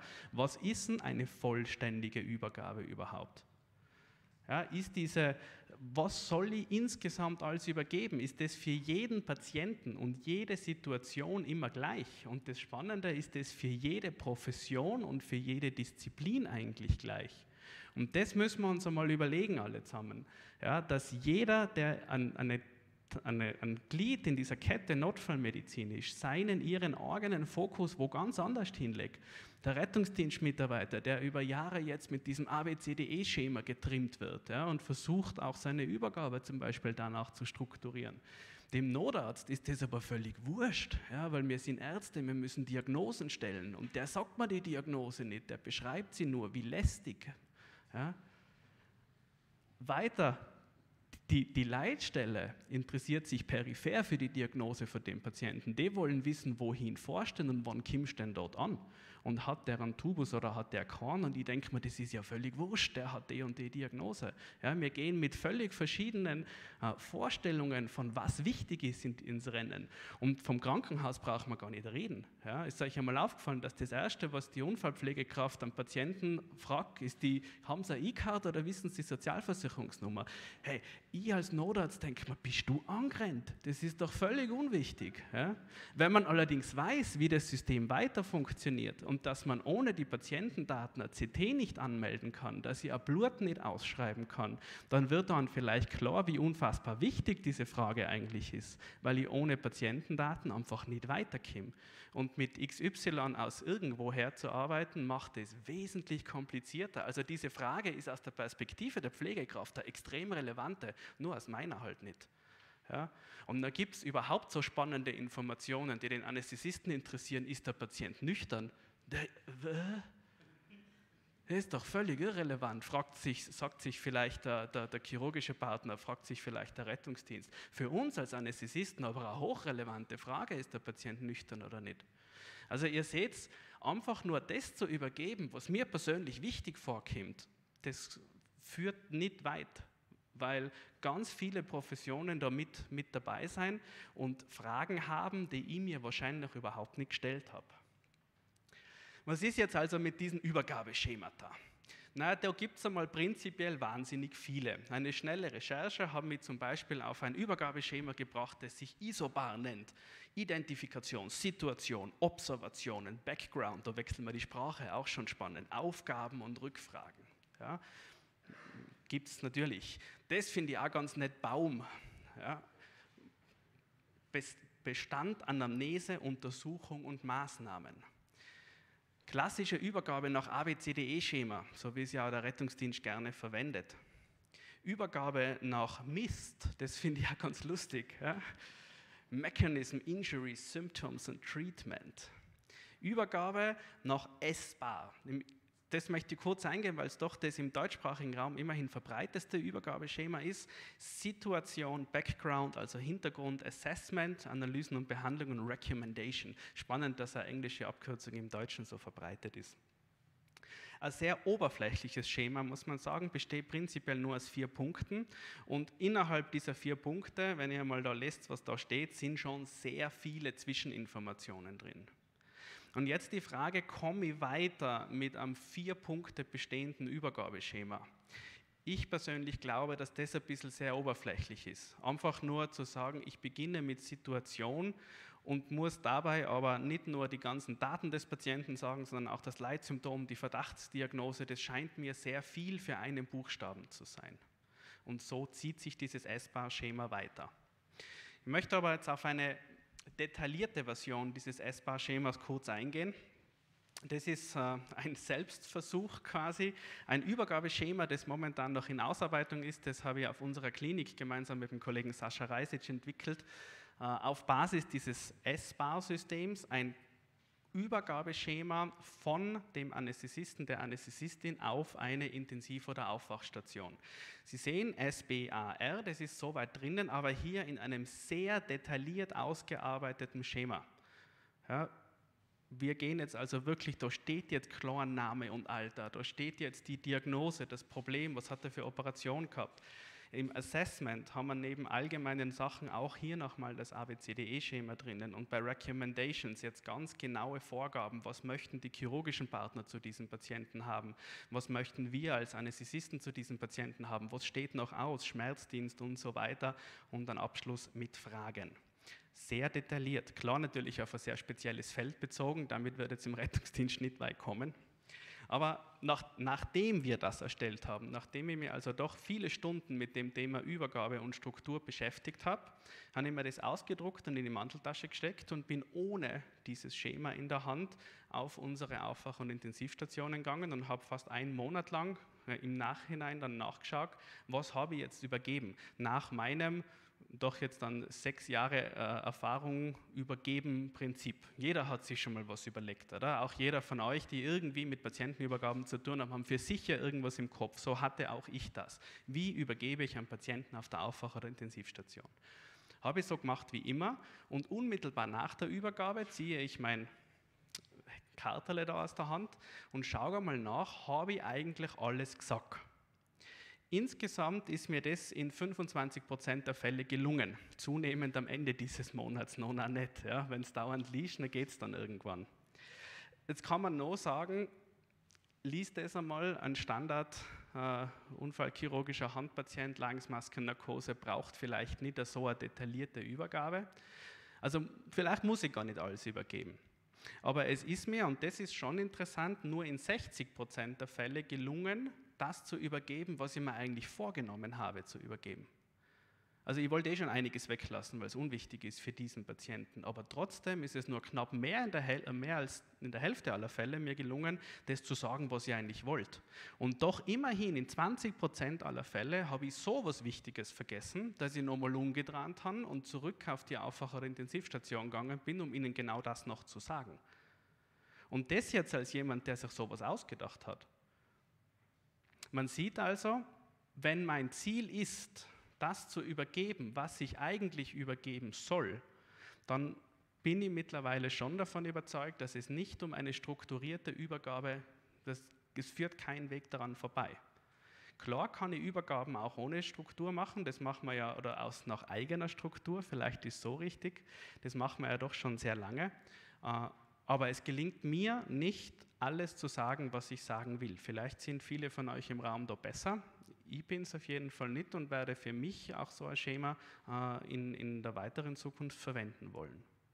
Und über ein Thema, zu dem haben wir ja noch gar nicht geredet. Wenn wir nochmal zurückdenken an diese verschiedenen Vorstellungen, die sich alle Fachrichtungen und Professionen zueinander geben, der wartet auf was ganz Spezielles.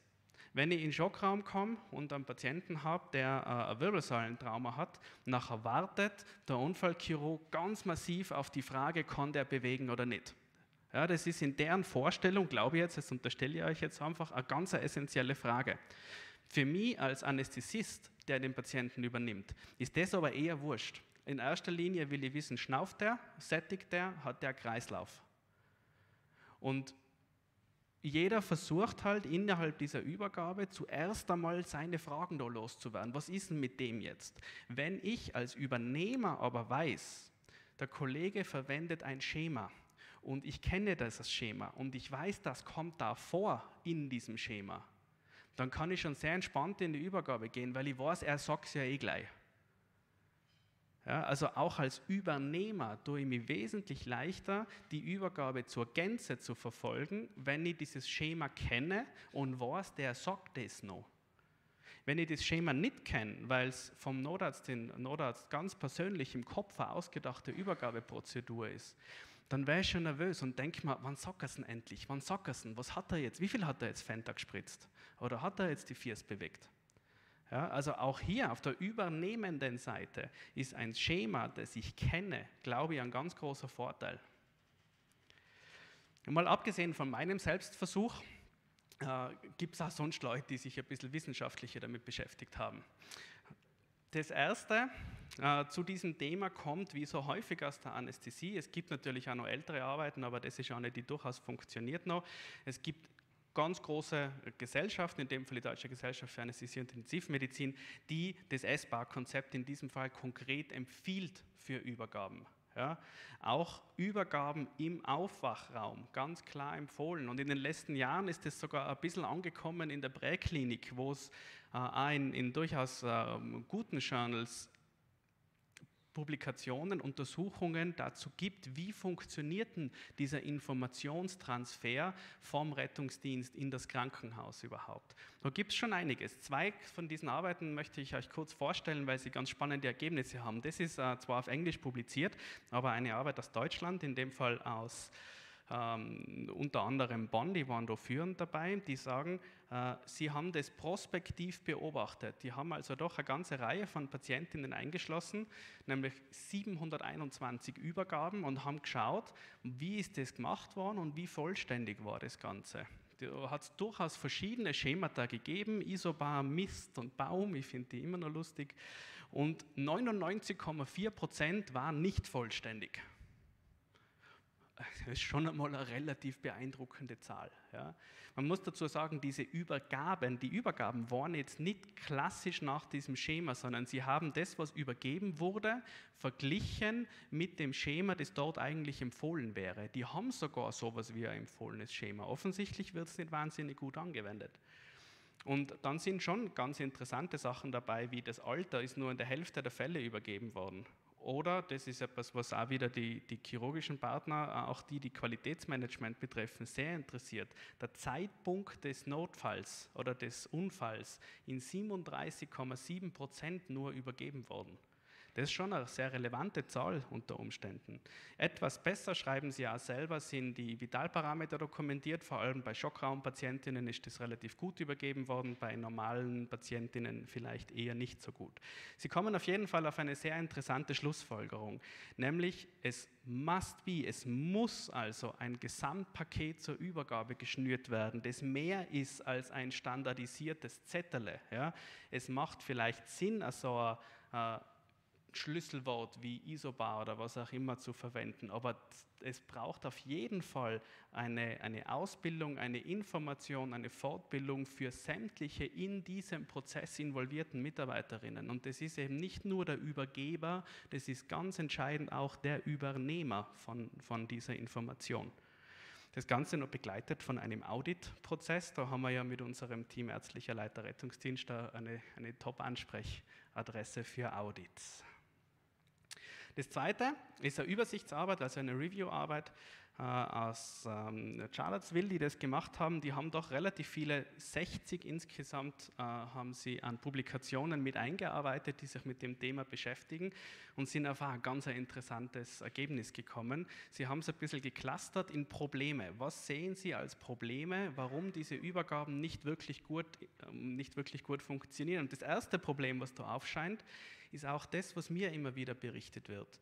Disrespect and Disinterest. Ja, also gerade die SanitäterInnen im Raum sehe ich doch deutlich nicken.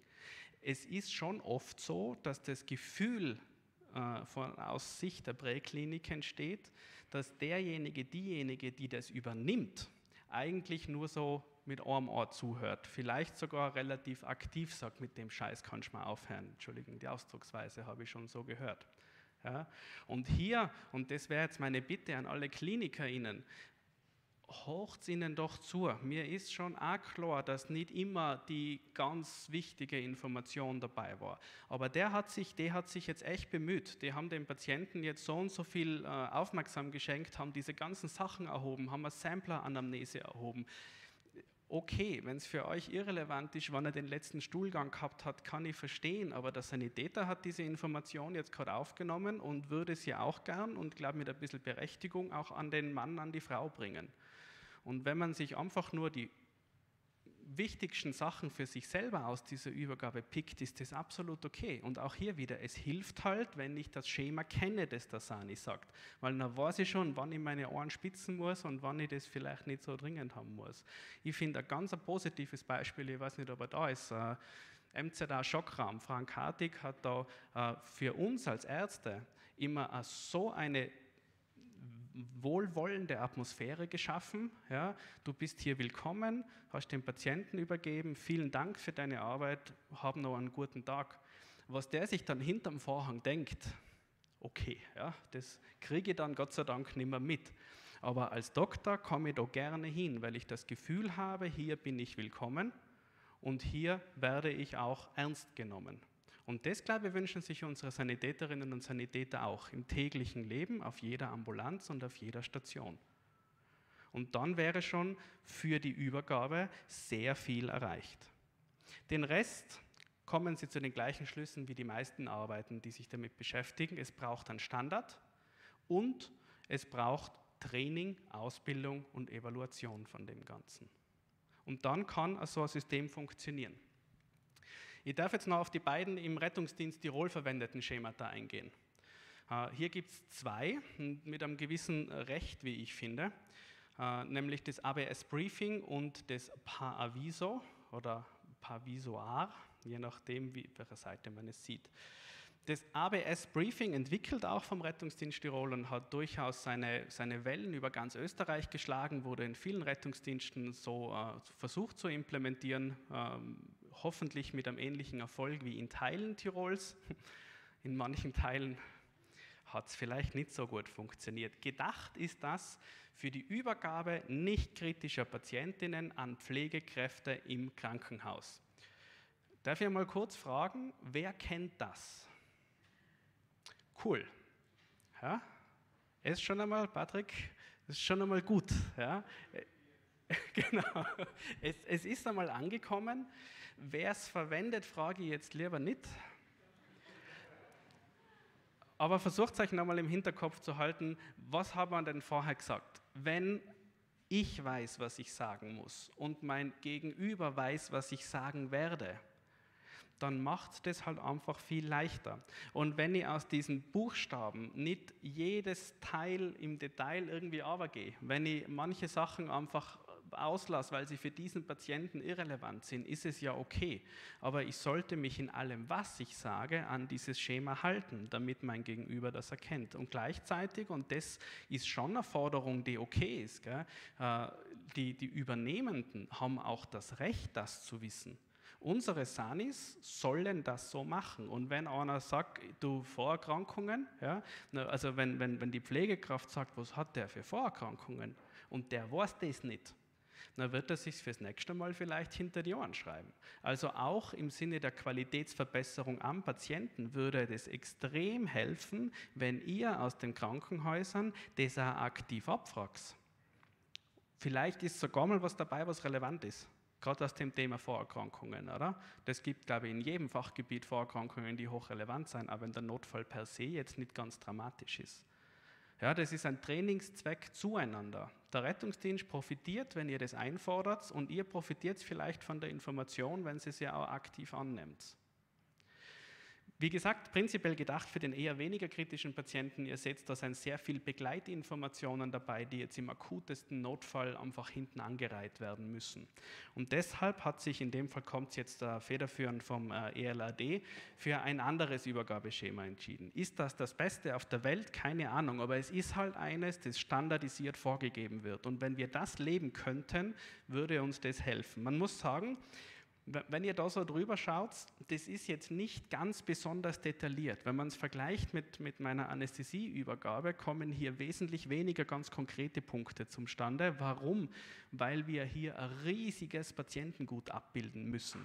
Es muss also hier wirklich wahnsinnig viel ähm, Variabilität geben, weil nicht alle unsere Patientinnen auch nur ungefähr dasselbe brauchen. Wenn wir uns das kurz anschauen, das erste wäre, die ruhige Atmosphäre im Raum zu schaffen. Patient bleibt auf der Rettungstrage. So wäre es gedacht, auch im Schockraum natürlich. Patient wird nach der Übergabe umgelagert. Die einzige Ausnahme wäre natürlich eine hochinstabile Situation, braucht man gar nicht reden beide Teams komplett Leader identifiziert. Das ist in manchen Schockräumen auch nicht immer ganz einfach.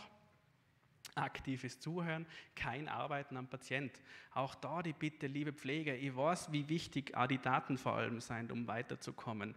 Aber wenn wir uns diese paar Sekunden zur Übergabe gönnen, führt das einfach zu einer wesentlich ruhigeren Atmosphäre im Raum.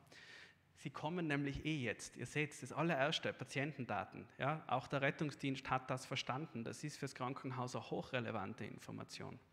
Art des Notfalls, Verletzungen, Verdachtsdiagnosen, I Intubation ist jetzt sehr weit gegriffen. Es geht natürlich um alle erweiterten Maßnahmen, die getroffen wurden. S, Symptome, was hat er, aber vor allem hier ganz dick rein, Red Flags, wissen wir, es gibt für alle möglichen einzelnen Krankheitsbilder ein paar ganz spezielle Symptome, bei denen man unbedingt dran denken muss. Ja. Die Schmerzen zwischen den Schulterblättern, der Blutdruckdifferenz auf den beiden Armen, da, da müssen unsere Alarmglocken klingeln. Ja. Äh, das kehrt hier nochmal extra heraus. Beim A und R noch zwei ganz wichtige Punkte. Der Ansprechpartner, Kontaktdaten, Angehörige. Wie oft wir das auch als Rückmeldung kriegen. Hast du keine Telefonnummer von der Frau? Denke jetzt gerade an die Kollegen der Neurologie, die sowas immer extrem interessant finden. Äh, mal abgesehen davon von der Weiterversorgung natürlich. Äh, hat der für einen Hausarzt? Wer, wer ist der Notarzt? Kann ich den vielleicht noch einmal erreichen? Das wäre ja nicht ganz schlecht. Ja? Sämtliche Nefs und die den Hubschrauber haben, haben Diensttelefone. Ich muss ja nicht meine Privatnummer hergeben. Ich kann eine Telefonnummer hergeben und der die nächsten paar Stunden, weil ich noch Dienst habe, erreichbar sein werde. Das kann oft auch helfen aus der Klinik raus. Und dann das R, etwas, wo wir uns alle ein bisschen an der Nase nehmen müssen, mich inklusive, ein Readback. Die wichtigsten Informationen noch einmal wiederholen, um sicher zu gehen, dass ich das Wichtigste verstanden habe, dass ich nicht irgendwo in dem Stress etwas fehl gehört habe und vielleicht da für mich selber, um rauszufinden, Moment, Allergien Weiß ich nicht, hat er vielleicht gesagt, keine Ahnung. Dann muss ich es nochmal aktiv erfragen.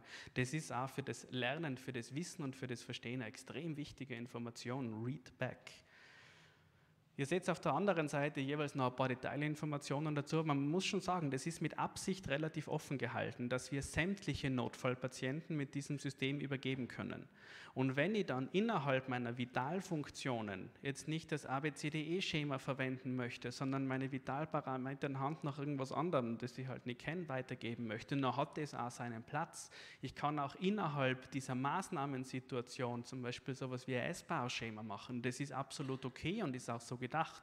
Dieses Paar Aviso soll einen Rahmen bieten, mit dem ich alle kritischen Notfallpatientinnen eigentlich irgendwie strukturiert übergeben kann. Und auch hier wieder die Bitte an die Übernehmer.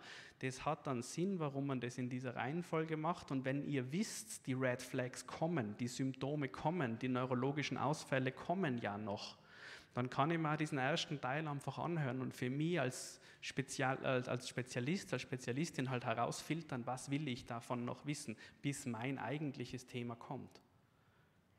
Das gibt es übrigens, äh, das wissen vielleicht auch viele, äh, als strukturierte Idee der Voranmeldung an die Leitstelle. Hier der Andreas Maurer federführend eingebunden gewesen, äh, nach demselben Prinzip mit ein bisschen anderen Informationen die strukturierte Voranmeldung über die Leitstelle zu machen, per Telefon im Idealfall. Und es sollte, steht sogar die Nummer drauf, es sollte auch seitens des Disponenten so abgefragt werden. Das wäre ja mal die Idee gewesen. Ähm, dass das nicht immer so einfach ist, der NEF-Sanitäter, der diese Anforderungen in der Regel macht, hat vielleicht nicht alle diese Informationen, weil er einsatztaktisch sehr gut mit Aufziehen und Vorbereiten von so Sachen gebunden war. Der die Notärztin könnte selbstverständlich diese Anmeldung auch machen, hat häufig natürlich mit der direkten Patientinnenversorgung zu tun. Trotzdem, liebe NEF-SanitäterInnen, ähm, bevor ihr anmeldet, macht euch halt ein Bild über den Patienten. Das lässt sich schon alles erheben. Und wenn ich in, in Doktor fragen muss, du, was war jetzt nochmal? Hast du da irgendwelche Warnzeichen? Soll ich irgendwas Spezielles übergeben? Äh, zum Beispiel, wenn ich jetzt daran denke, die Schmerzen zwischen den Schulterblättern, Blutdruckdifferenz, das werden auch so Klingelworte sein. Wenn die bei der Anmeldung bei euch daherkommen, wird man vielleicht doch an den Herz- oder Gefäßchirurgen denken. Ja, also da gehen schon auch Informationen weiter, die durchaus wichtig wären und auch hier natürlich die Leitstelle angehalten, diese Readbacks zu machen. Und dann geht es ja eh weiter in die entsprechenden äh, Kliniken. Da kann man jetzt für Innsbruck sagen, das war jetzt wieder der Markus Dahler da groß dabei, dass man von diesem stille Post-Prinzip weggegangen ist und das jetzt Ganze auf Text und inklusive ausgedruckt Schockraumanmeldungen macht wir haben zum Teil durchaus interessante Situationen gehabt, dass manche Fachwörter derartig verfremdet wurden, dass es nicht mehr nachvollziehbar war, was damit gemeint war. Jetzt geht es wirklich als geschriebener Text weiter, wird ausgedruckt und wird auch gut alarmiert. Ähm, mit solchen Kleinigkeiten kann man oft Großes bewirken. Das, das Paar-Aviso-System. Äh, für den Rettungsdienst übrigens, wenn ihr davor gelesen habt, Patientenübergabe des kritisch Kranken ans Krankenhaus, da steht nicht Notarzt. Ja, selbstverständlich kann der Rettungsdienst in Situationen, in denen die Ressource knapp ist, das soll es ja manchmal geben in Tirol, äh, kann, der, kann dann ähm, Sanitäter, der Notfallsanitäter im Idealfall natürlich an kritisch kranken Patienten selbstständig ins Krankenhaus bringen. Ihr wisst es alle, was unsere Lehrmeinung sagt. Der kritisch Kranke gehört schnellstmöglich einem Arzt, einer Ärztin zugeführt. Das muss nicht immer der Notarzt sein. Ja, gegenüber in der Annestraße 22 der Herzinfarkt mit dem Neff Schönberg als nächstes verfügbares Arztmittel, macht es vielleicht Sinn, den über die Straße zu führen. Und dann macht es natürlich auch Sinn, so ein Übergabeschema dem ABS-Schema vorzuziehen. Unter anderem deshalb hat sich auch die AK-Akademie entschlossen, dieses Paar Aviso in die nächste Schulungsperiode mit einfließen zu lassen. Also ihr alle Sanitäterinnen und Sanitäter äh, werdet mit dieser Übergabe ebenfalls noch einmal Kontakt haben. Und zwar schon in Kombination mit beidem. Es wird ABS geben für den richtigen Patienten und es wird Paar Aviso geben für den richtigen Patienten. Ich glaube, so viel schaffen wir. Vor allem, wenn wir wieder so tolle gemachte Karten kriegen. Die gibt es schon für das Paar Aviso-Schema, ähnlich wie ihr das für das ABS-Schema kennt.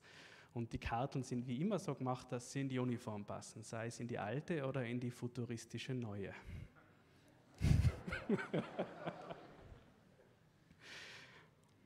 Was bleiben an To-Dos für dieses Thema Übergabe? Wir brauchen die flächendeckende Verbreitung des Paar-Aviso und des ABS-Schemas. ABS war ja jetzt schon hoch begeistert, wie weit es schon zumindest irgendwo angekommen ist. Vielleicht schaffen wir es für das Paar-Aviso-System auch. Das viel Wichtigere als es zu verbreiten, ist aber die Sinnhaftigkeit, das Verständnis für die Sinnhaftigkeit zu wecken. Diese Schemata bringen was, das hat einen Vorteil und das müssen alle Beteiligten verstehen. Das wäre super. Und alle Beteiligten sind die Notärztinnen, auch übrigens wir unser Berufsstand muss sich beim Thema Übergaben auf der Empfängerseite durchaus einmal an der eigenen Nase nehmen. Ich, genauso wie die meisten anderen, die ich kenne. Ja. Der Sanitäter, die Sanitäterin hat sich jetzt schon sehr bemüht, diesen Patienten zu versorgen und wir sollten auch hier die Höflichkeit besitzen, diese Übergabe zur Gänze uh, anzuhören, ein Readback durchzuführen, damit da klar ist, was wir verstanden haben. Es sind natürlich die Leitstellendisponentinnen ein ganz wesentlicher Teil von jedem Übergabeprozess und es sind halt alle Mitarbeiterinnen aus den übernehmenden Einrichtungen, sei es Pflege, sei es ärztlich, sei es jeder Teil zum Beispiel eines Schockraumteams. Hier müssen wir diese Info hineinbringen und vor allem, wie gesagt, das Verständnis wecken, das hat dann Sinn, das führt zu einer verbesserten Patientinnenversorgung, weil mehr Informationen dort landen, wo sie hinkören. Und damit darf ich mit einem frommen Wunsch quasi enden. Ja? Mein Wunsch wäre, dass jeder Beteiligte in der Versorgungskette das Paar-Avisa und ABS-System kennt und die Übergabe und Übernahme auf diesem System basiert. Und hier der letzte und wichtigste Teilsatz, unter Wahrung das des Hausverstandes. Ja, also das ist alles gedacht für Menschen und die sollen das auch so verwenden. Und völlig absurd sinnlose Informationen vorzulesen, das hat überhaupt keinen Sinn. Ihr seid alle Profis, wir sind alle Profis, wir können sehr wohl einschätzen, was ist eine relevante Information und was nicht. Und solange wir den Hausverstand mitverwenden, machen solche Systeme auch Sinn und sind sinnvoller und nicht dumm, wie man es auch manchmal bezeichnet. Und damit darf ich grundsätzlich diesen Vortrag beenden. Die richtige Information zum richtigen Zeitpunkt.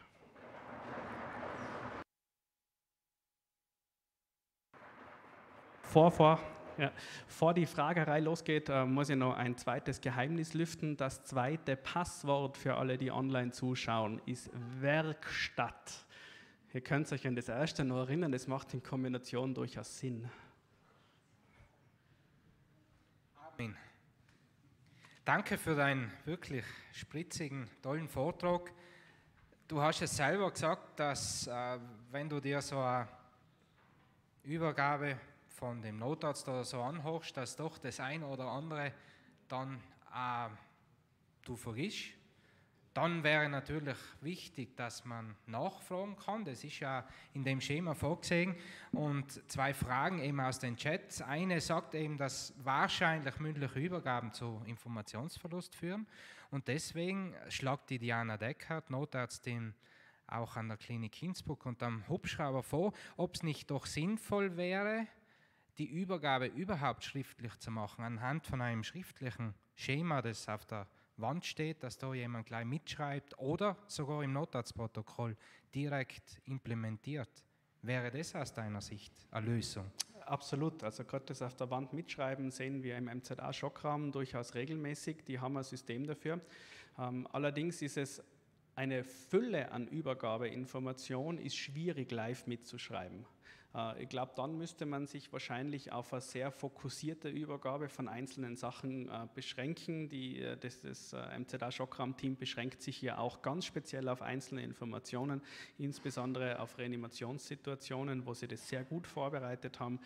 Ich stelle mir jetzt schwierig vor, das auf ganz alles zu beziehen. Sehr viel interessanter aus meiner Sicht wäre die schriftliche Übergabe im Sinne von einem vollständigen und guten Notarztprotokoll, das ich Volet bei der Übergabe schaffe.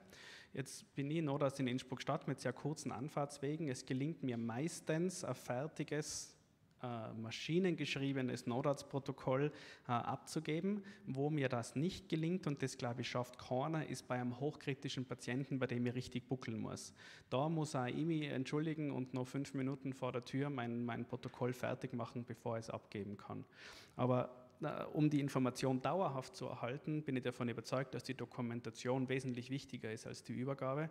Und da glaube ich jetzt auch, dass ein, ein NACA X handgeschriebenes Protokoll, das ich in der Regel sogar als Durchschlag kriege, vielleicht nicht so geeignet ist, Informationen gut aufzubewahren. Und ich glaube schon, dass man das Protokoll, das wir ja alle, auch ihr als Sanitäterinnen, mit viel Mühe in den KPC tippt, nicht äh, ins Nirvana und zur Leitstelle schicken sollt, sondern dort abgeben, wo es auch weiterkommt. Und so viel Zeit muss sein, meine Doku vor Ort am KPC fertig zu machen, auch meine notarztliche Doku, um danach das Dokument als Zettel abzugeben.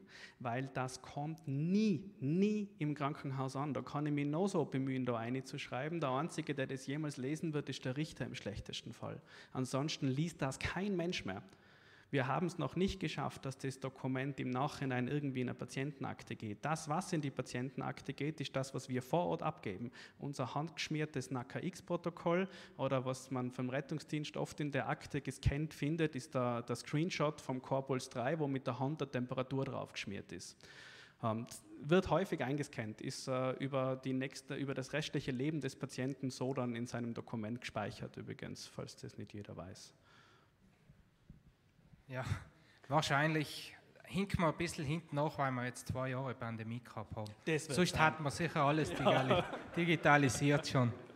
Gut, Fragen aus dem Auditorium, bitte. Den Punkt möchte ich jetzt vielleicht gerade aufgreifen. Ähm, ich bin aus Vorarlberg, vorhin Vorarlberg und seit kurzem, kurzem auch in Tirol und mir ist leider dieses Protokoll ein Graus.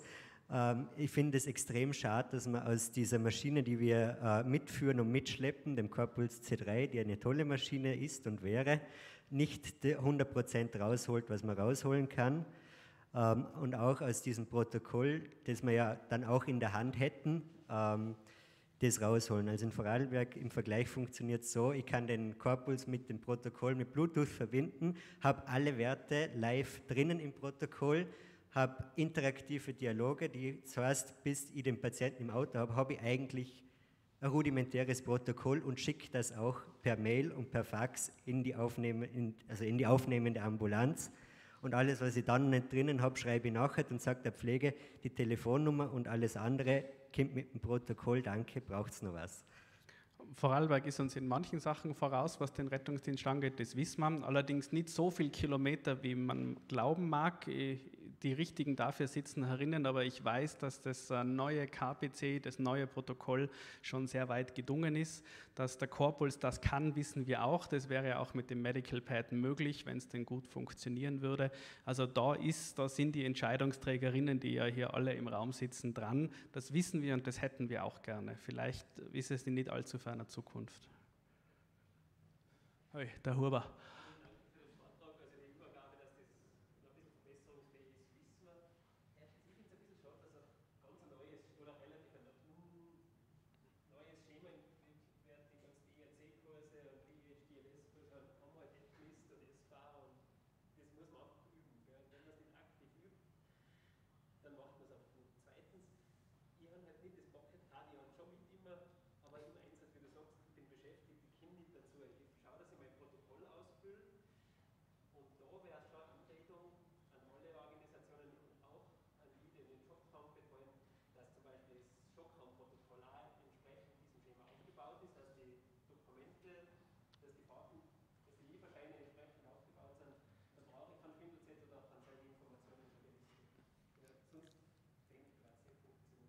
Danke, Thomas. Äh, darf ich für die Online-Gäste noch kurz wiederholen? Der Dr. Huber hat eingewandt, ähm, dass es erstens dieses Paar-Aviso natürlich jetzt nicht das verbreitetste System für Übergaben ist. Da ist natürlich essbar, da ist offensichtlich am Mist äh, etwas verbreiteter und dass es uns allen das Leben leichter machen würde, wenn sämtliche unserer Protokolle, unsere ganze Dokumentation nach einem so einem Schema aufgebaut wären.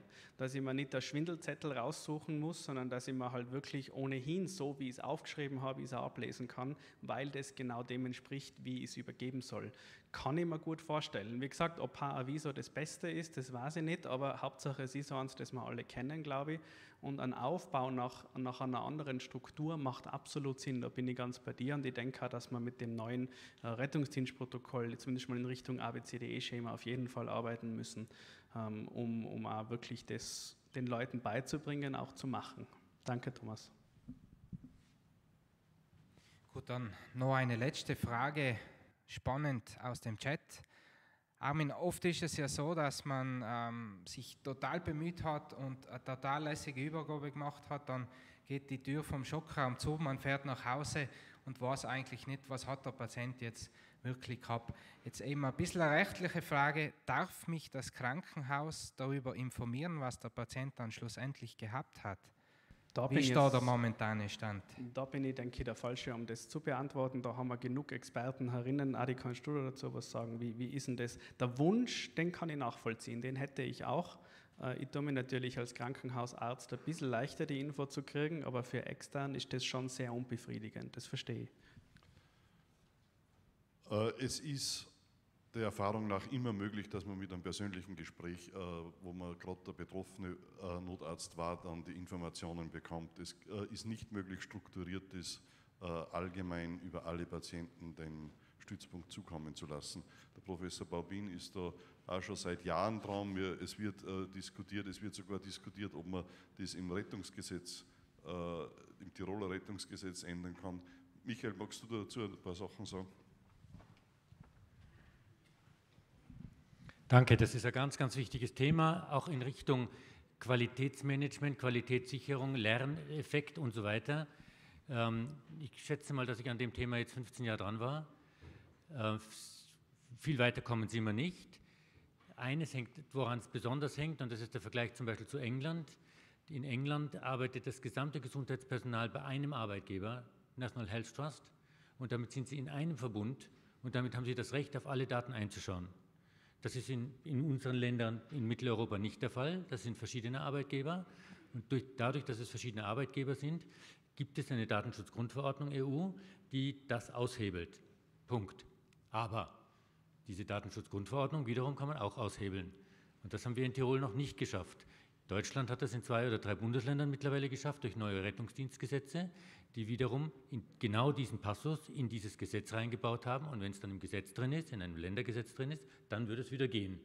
Und das ist der einzige Weg.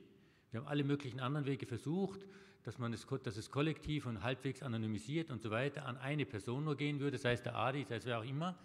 Selbst das führt zu nichts. Der einzige Weg könnte der sein, das Rettungsdienstgesetz des Landes Tirols diesbezüglich bei einer nächsten Sache so zu ändern, wie es in zwei oder drei Bundesländern, ich habe sie nicht genau im Kopf, ich glaube Hessen und Rheinland-Pfalz, dort gelungen ist, dann könnte es gehen. Spannend. Also gehen wir heute mit einem Wunsch nach Hause, dass wir also in Zukunft in unsere persönliche Qualitätssicherung über das erfragen, was hat denn der Patient gehabt, hoffentlich dann in einigen Jahren dieses Problem gelöst haben. Gut, ähm, ich darf jetzt abschließend noch ein paar Gedanken euch auf den Weg geben. Ähm, in der Vorbereitung auf den heutigen Tag ist mir Altbundeskanzler Helmut Schmidt für vielen von euch sicher ein Begriff in, auf dem Bildschirm gehüpft und er hat einmal gesagt, wer Visionen hat, soll zum Arzt gehen und hat dabei wohl Traumbilder oder Druckbilder gemeint oder hoffe ich zumindest, dass er die damit gemeint hat.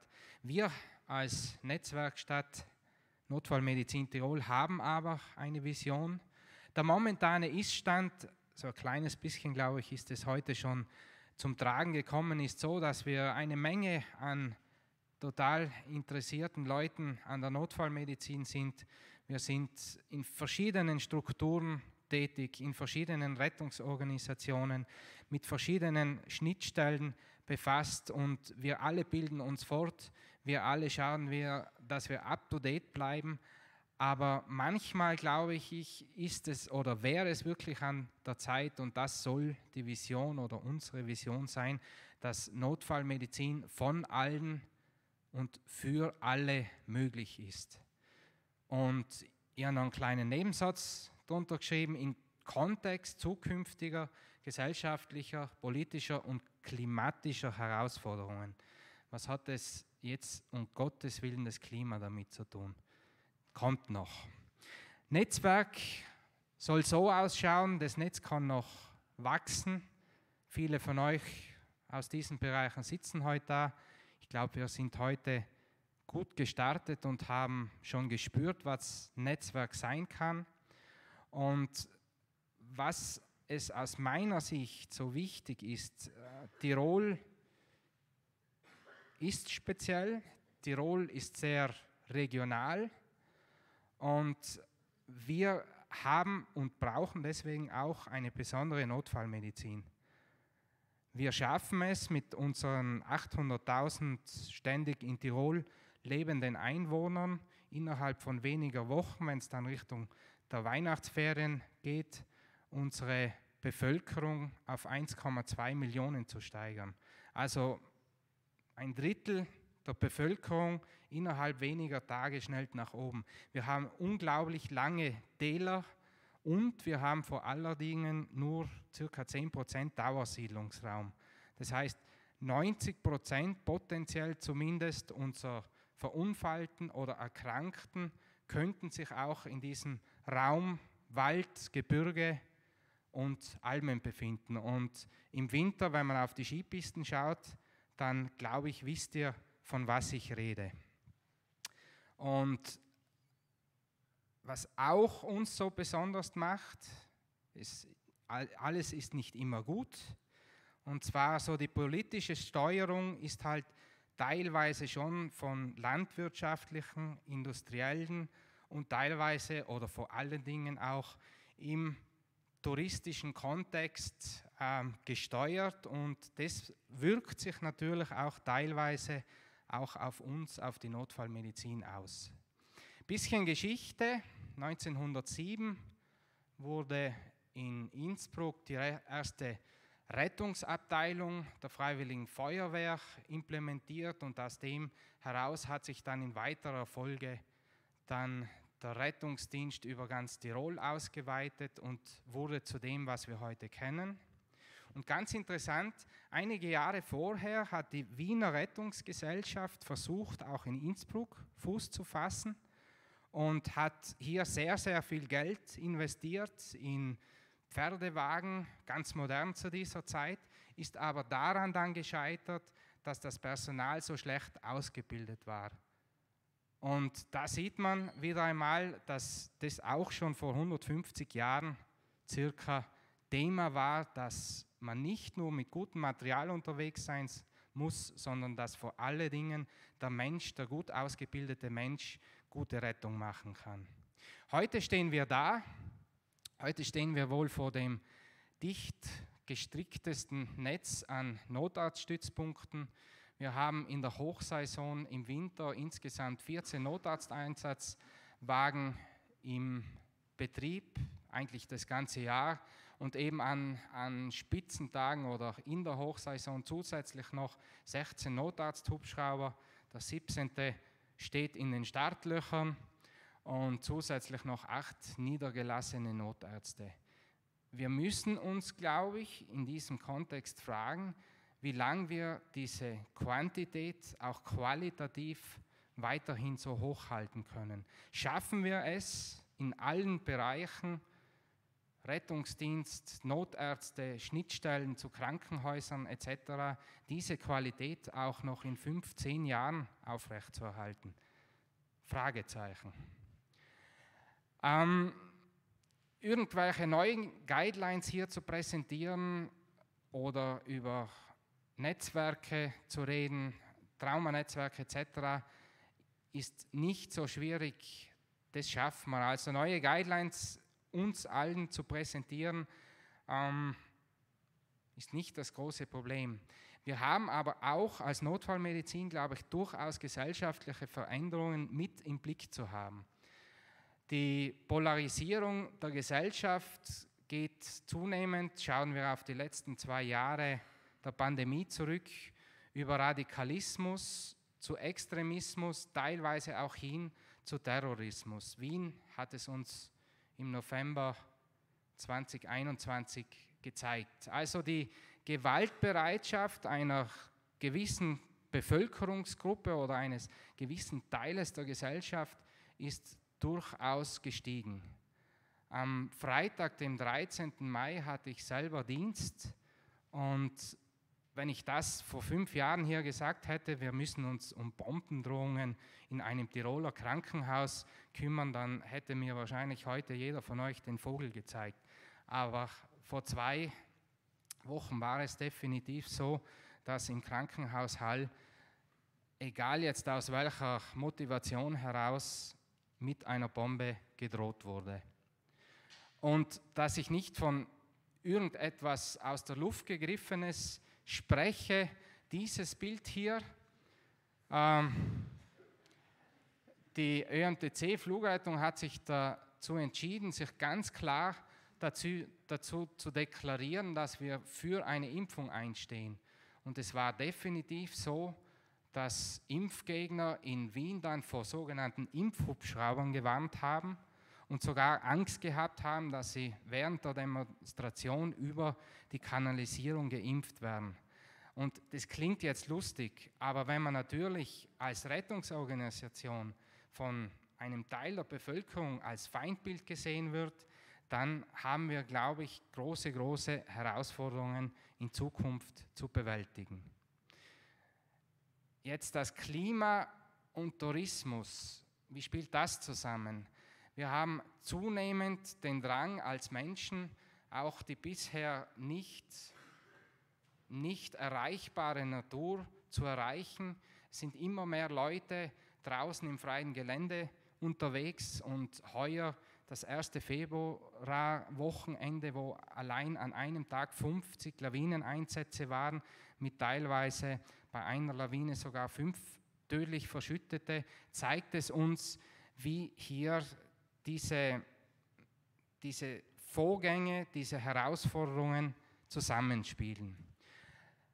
Vor kurzem ein Waldbrand im Außerfern und auch das kann uns natürlich als Rettungsdienste oder Gemein oder auch als Gesellschaft natürlich vor große Herausforderungen stellen.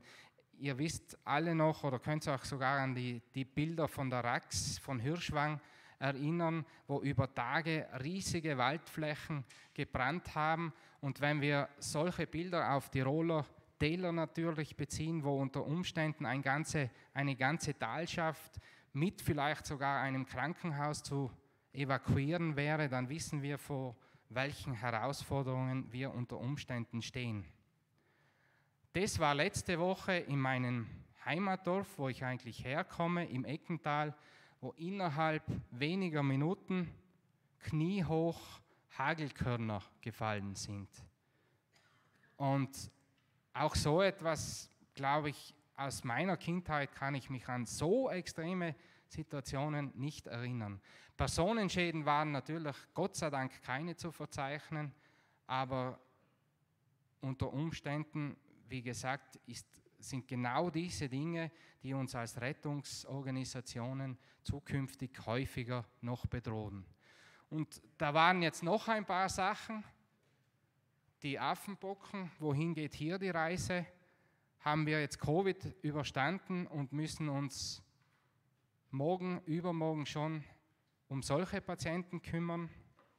Dann natürlich die furchtbare Flüchtlingsbewegung, ausgelöst durch diesen furchtbaren Konflikt, durch diesen furchtbaren Krieg jetzt in der Ukraine. Auch das hat Auswirkungen auf uns als Gesellschaft, aber auch auf die Notfallmedizin. Es werden uns zunehmend wieder Krankheiten treffen, die wir lange nicht gekannt haben. Sprichwort offene TBC zum Beispiel. Und das vor wenigen Tagen hier in Paderborn, auch das eigentlich undenkbar, dass man in unmittelbarer Nähe, letztes Jahr war es auf der österreich-tschechischen Grenze, so schwere Orkane hat, dass, dass, dass es sogar Auto und ganze Hausdächer durch die Luft wirbelt. Das werden auch alles Herausforderungen sein, die wir gemeinsam als Notfallmedizin, als Rettungsorganisationen meistern müssen und können. Und jetzt kommt mir wieder Helmut Schmidt zugute, der 1962 die große Flutkatastrophe in Hamburg geleitet hat. Und eines kann man aus der Biografie ganz genau herauslesen. Er hat es geschafft, sein Netzwerk voll auszunützen. Er kannte Leute in der Bundeswehr, er kannte Leute ganz oben in den wichtigen Stellen, er kannte Leute in der NATO und hat die persönlich angerufen und hat persönlich dann zusammen mit denen diese Flutkatastrophe bewältigt. Und mit den drei Wörtern möchte ich auch meinen Vortrag weitgehend schließen und ich glaube, dass diese Netzwerkstatt Notfallmedizin auch dazu da sein kann, dass wir uns kennenlernen und dann in der Krise unsere Köpfe kennen. Damit danke von meiner Seite aus. Noch ein paar Worte zu diesen oder zu diesen Abschlussbildern. Hier seht ihr, das Dia ist relativ voll, hat aber nach oben und nach unten noch sehr, sehr viele Logos Platz. Also wenn sich jemand, so ein grünes Logo fehlt zum Beispiel noch, Markus? Also wenn sich jemand hier gerne wiederfinden würde, ihr seid alle herzlich willkommen, egal aus welcher Rettungsorganisation oder aus welcher notfallmedizinischer Motivation heraus. Es gibt also noch sehr, sehr viel Platz hier oben. Gut, ähm, jetzt abschließend, fünf vor sieben, also auch das haben wir geschafft einzuhalten. Ohne ein paar Köpfe wäre das heute nicht möglich gewesen und allen voran muss ich dem Jakob Gruber mit seinem Team von der IGNI danken, die aufgrund der Technik heute wirklich den, die Veranstaltung zu einem Gelingen gebracht haben. Also Jakob Gruber mit Sebastian Döni, Caroline Wieser und Florian Denk von der Firma Inflex. Vielen, vielen Dank. Sie haben die ganze Arbeit heute kostenlos hier geleistet und wirklich technisch eine tiptop äh, Leistung geliefert. Vielen, vielen Dank. Danken möchte ich auch von der Rotkreuz-Akademie Armin Leiminger. Er sollte heute online dabei sein und stellvertretend für David Holzer. Und ganz wichtig auch die Vorarbeit von Peter Hamm, der wie immer die Homepage und auch die ganze Anmeldungsformalität für diese Veranstaltung geleitet hat. Wer sind wir? Wer sind die Initiatoren dieses Netzwerk, dieser Netzwerkstatt Notfallmedizin? Ich darf euch jetzt herausbitten, Armin, da wärst du einmal jetzt nicht, um irgendwie uns ins richtige Licht zu stellen oder ins besondere Licht, sondern einfach, da ist sehr, sehr viel Platz. Also in Zukunft wäre es richtig toll, wenn hier noch einige andere bildlich herausstehen würden. Da ist Manuel Winkler von der IGNI und Patrick Golger von der Rettungsdienst GmbH heraus mit dir. Adolf Schienerl, ärztlicher Leiter Rettungsdienst, stelle ich zu uns. Und natürlich unsere gute Haut und ohne die die ganze Anmeldung, die ganzen Unterlagen und, und, und, was wir hier alles gebraucht haben, ohne die es nicht gegangen wäre. Agnes, komm auch du heraus. Damit möchte ich jetzt noch, damit wir nicht allzu viel die Zeit überschreiten, noch die Möglichkeit geben, Ideen, Wünsche, Feedback an uns jetzt zu richten oder Fragen, die euch noch ähm, auf dem Herzen liegen und die eine oder andere Idee, wie wir in Zukunft gemeinsam Notfallmedizin in Tirol gestalten können.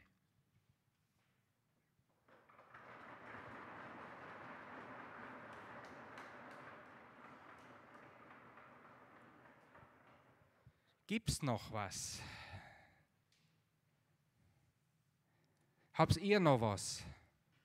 Lassen wir es pünktlich, oder? Dann das letzte Bild, die nächste Vorankündigung, der nächste Winter wird wahrscheinlich kommen. Und wir haben uns jetzt einmal als Vortragsgedanken gesagt, was ich immer schon über Hypothermie und Lawine wissen wollte, aber nie zu fragen wagte. Das Ganze wieder im gleichen Format wie heute. Und nachdem Hypothermie und Lawine natürlich Sache der Bergrettung sind zum großen Teil, nicht nur, wäre natürlich toll, Markus, direkt die Frage an dich, wenn du und eure Rettungsorganisation hier mit dem ein oder anderen Vortrag uns unter die Arme helfen würdet. Ja. Das war jetzt die richtige Antwort. Kommst gut nach Hause. Vielen Dank und ich hoffe, wir sehen uns alle das nächste Mal wieder.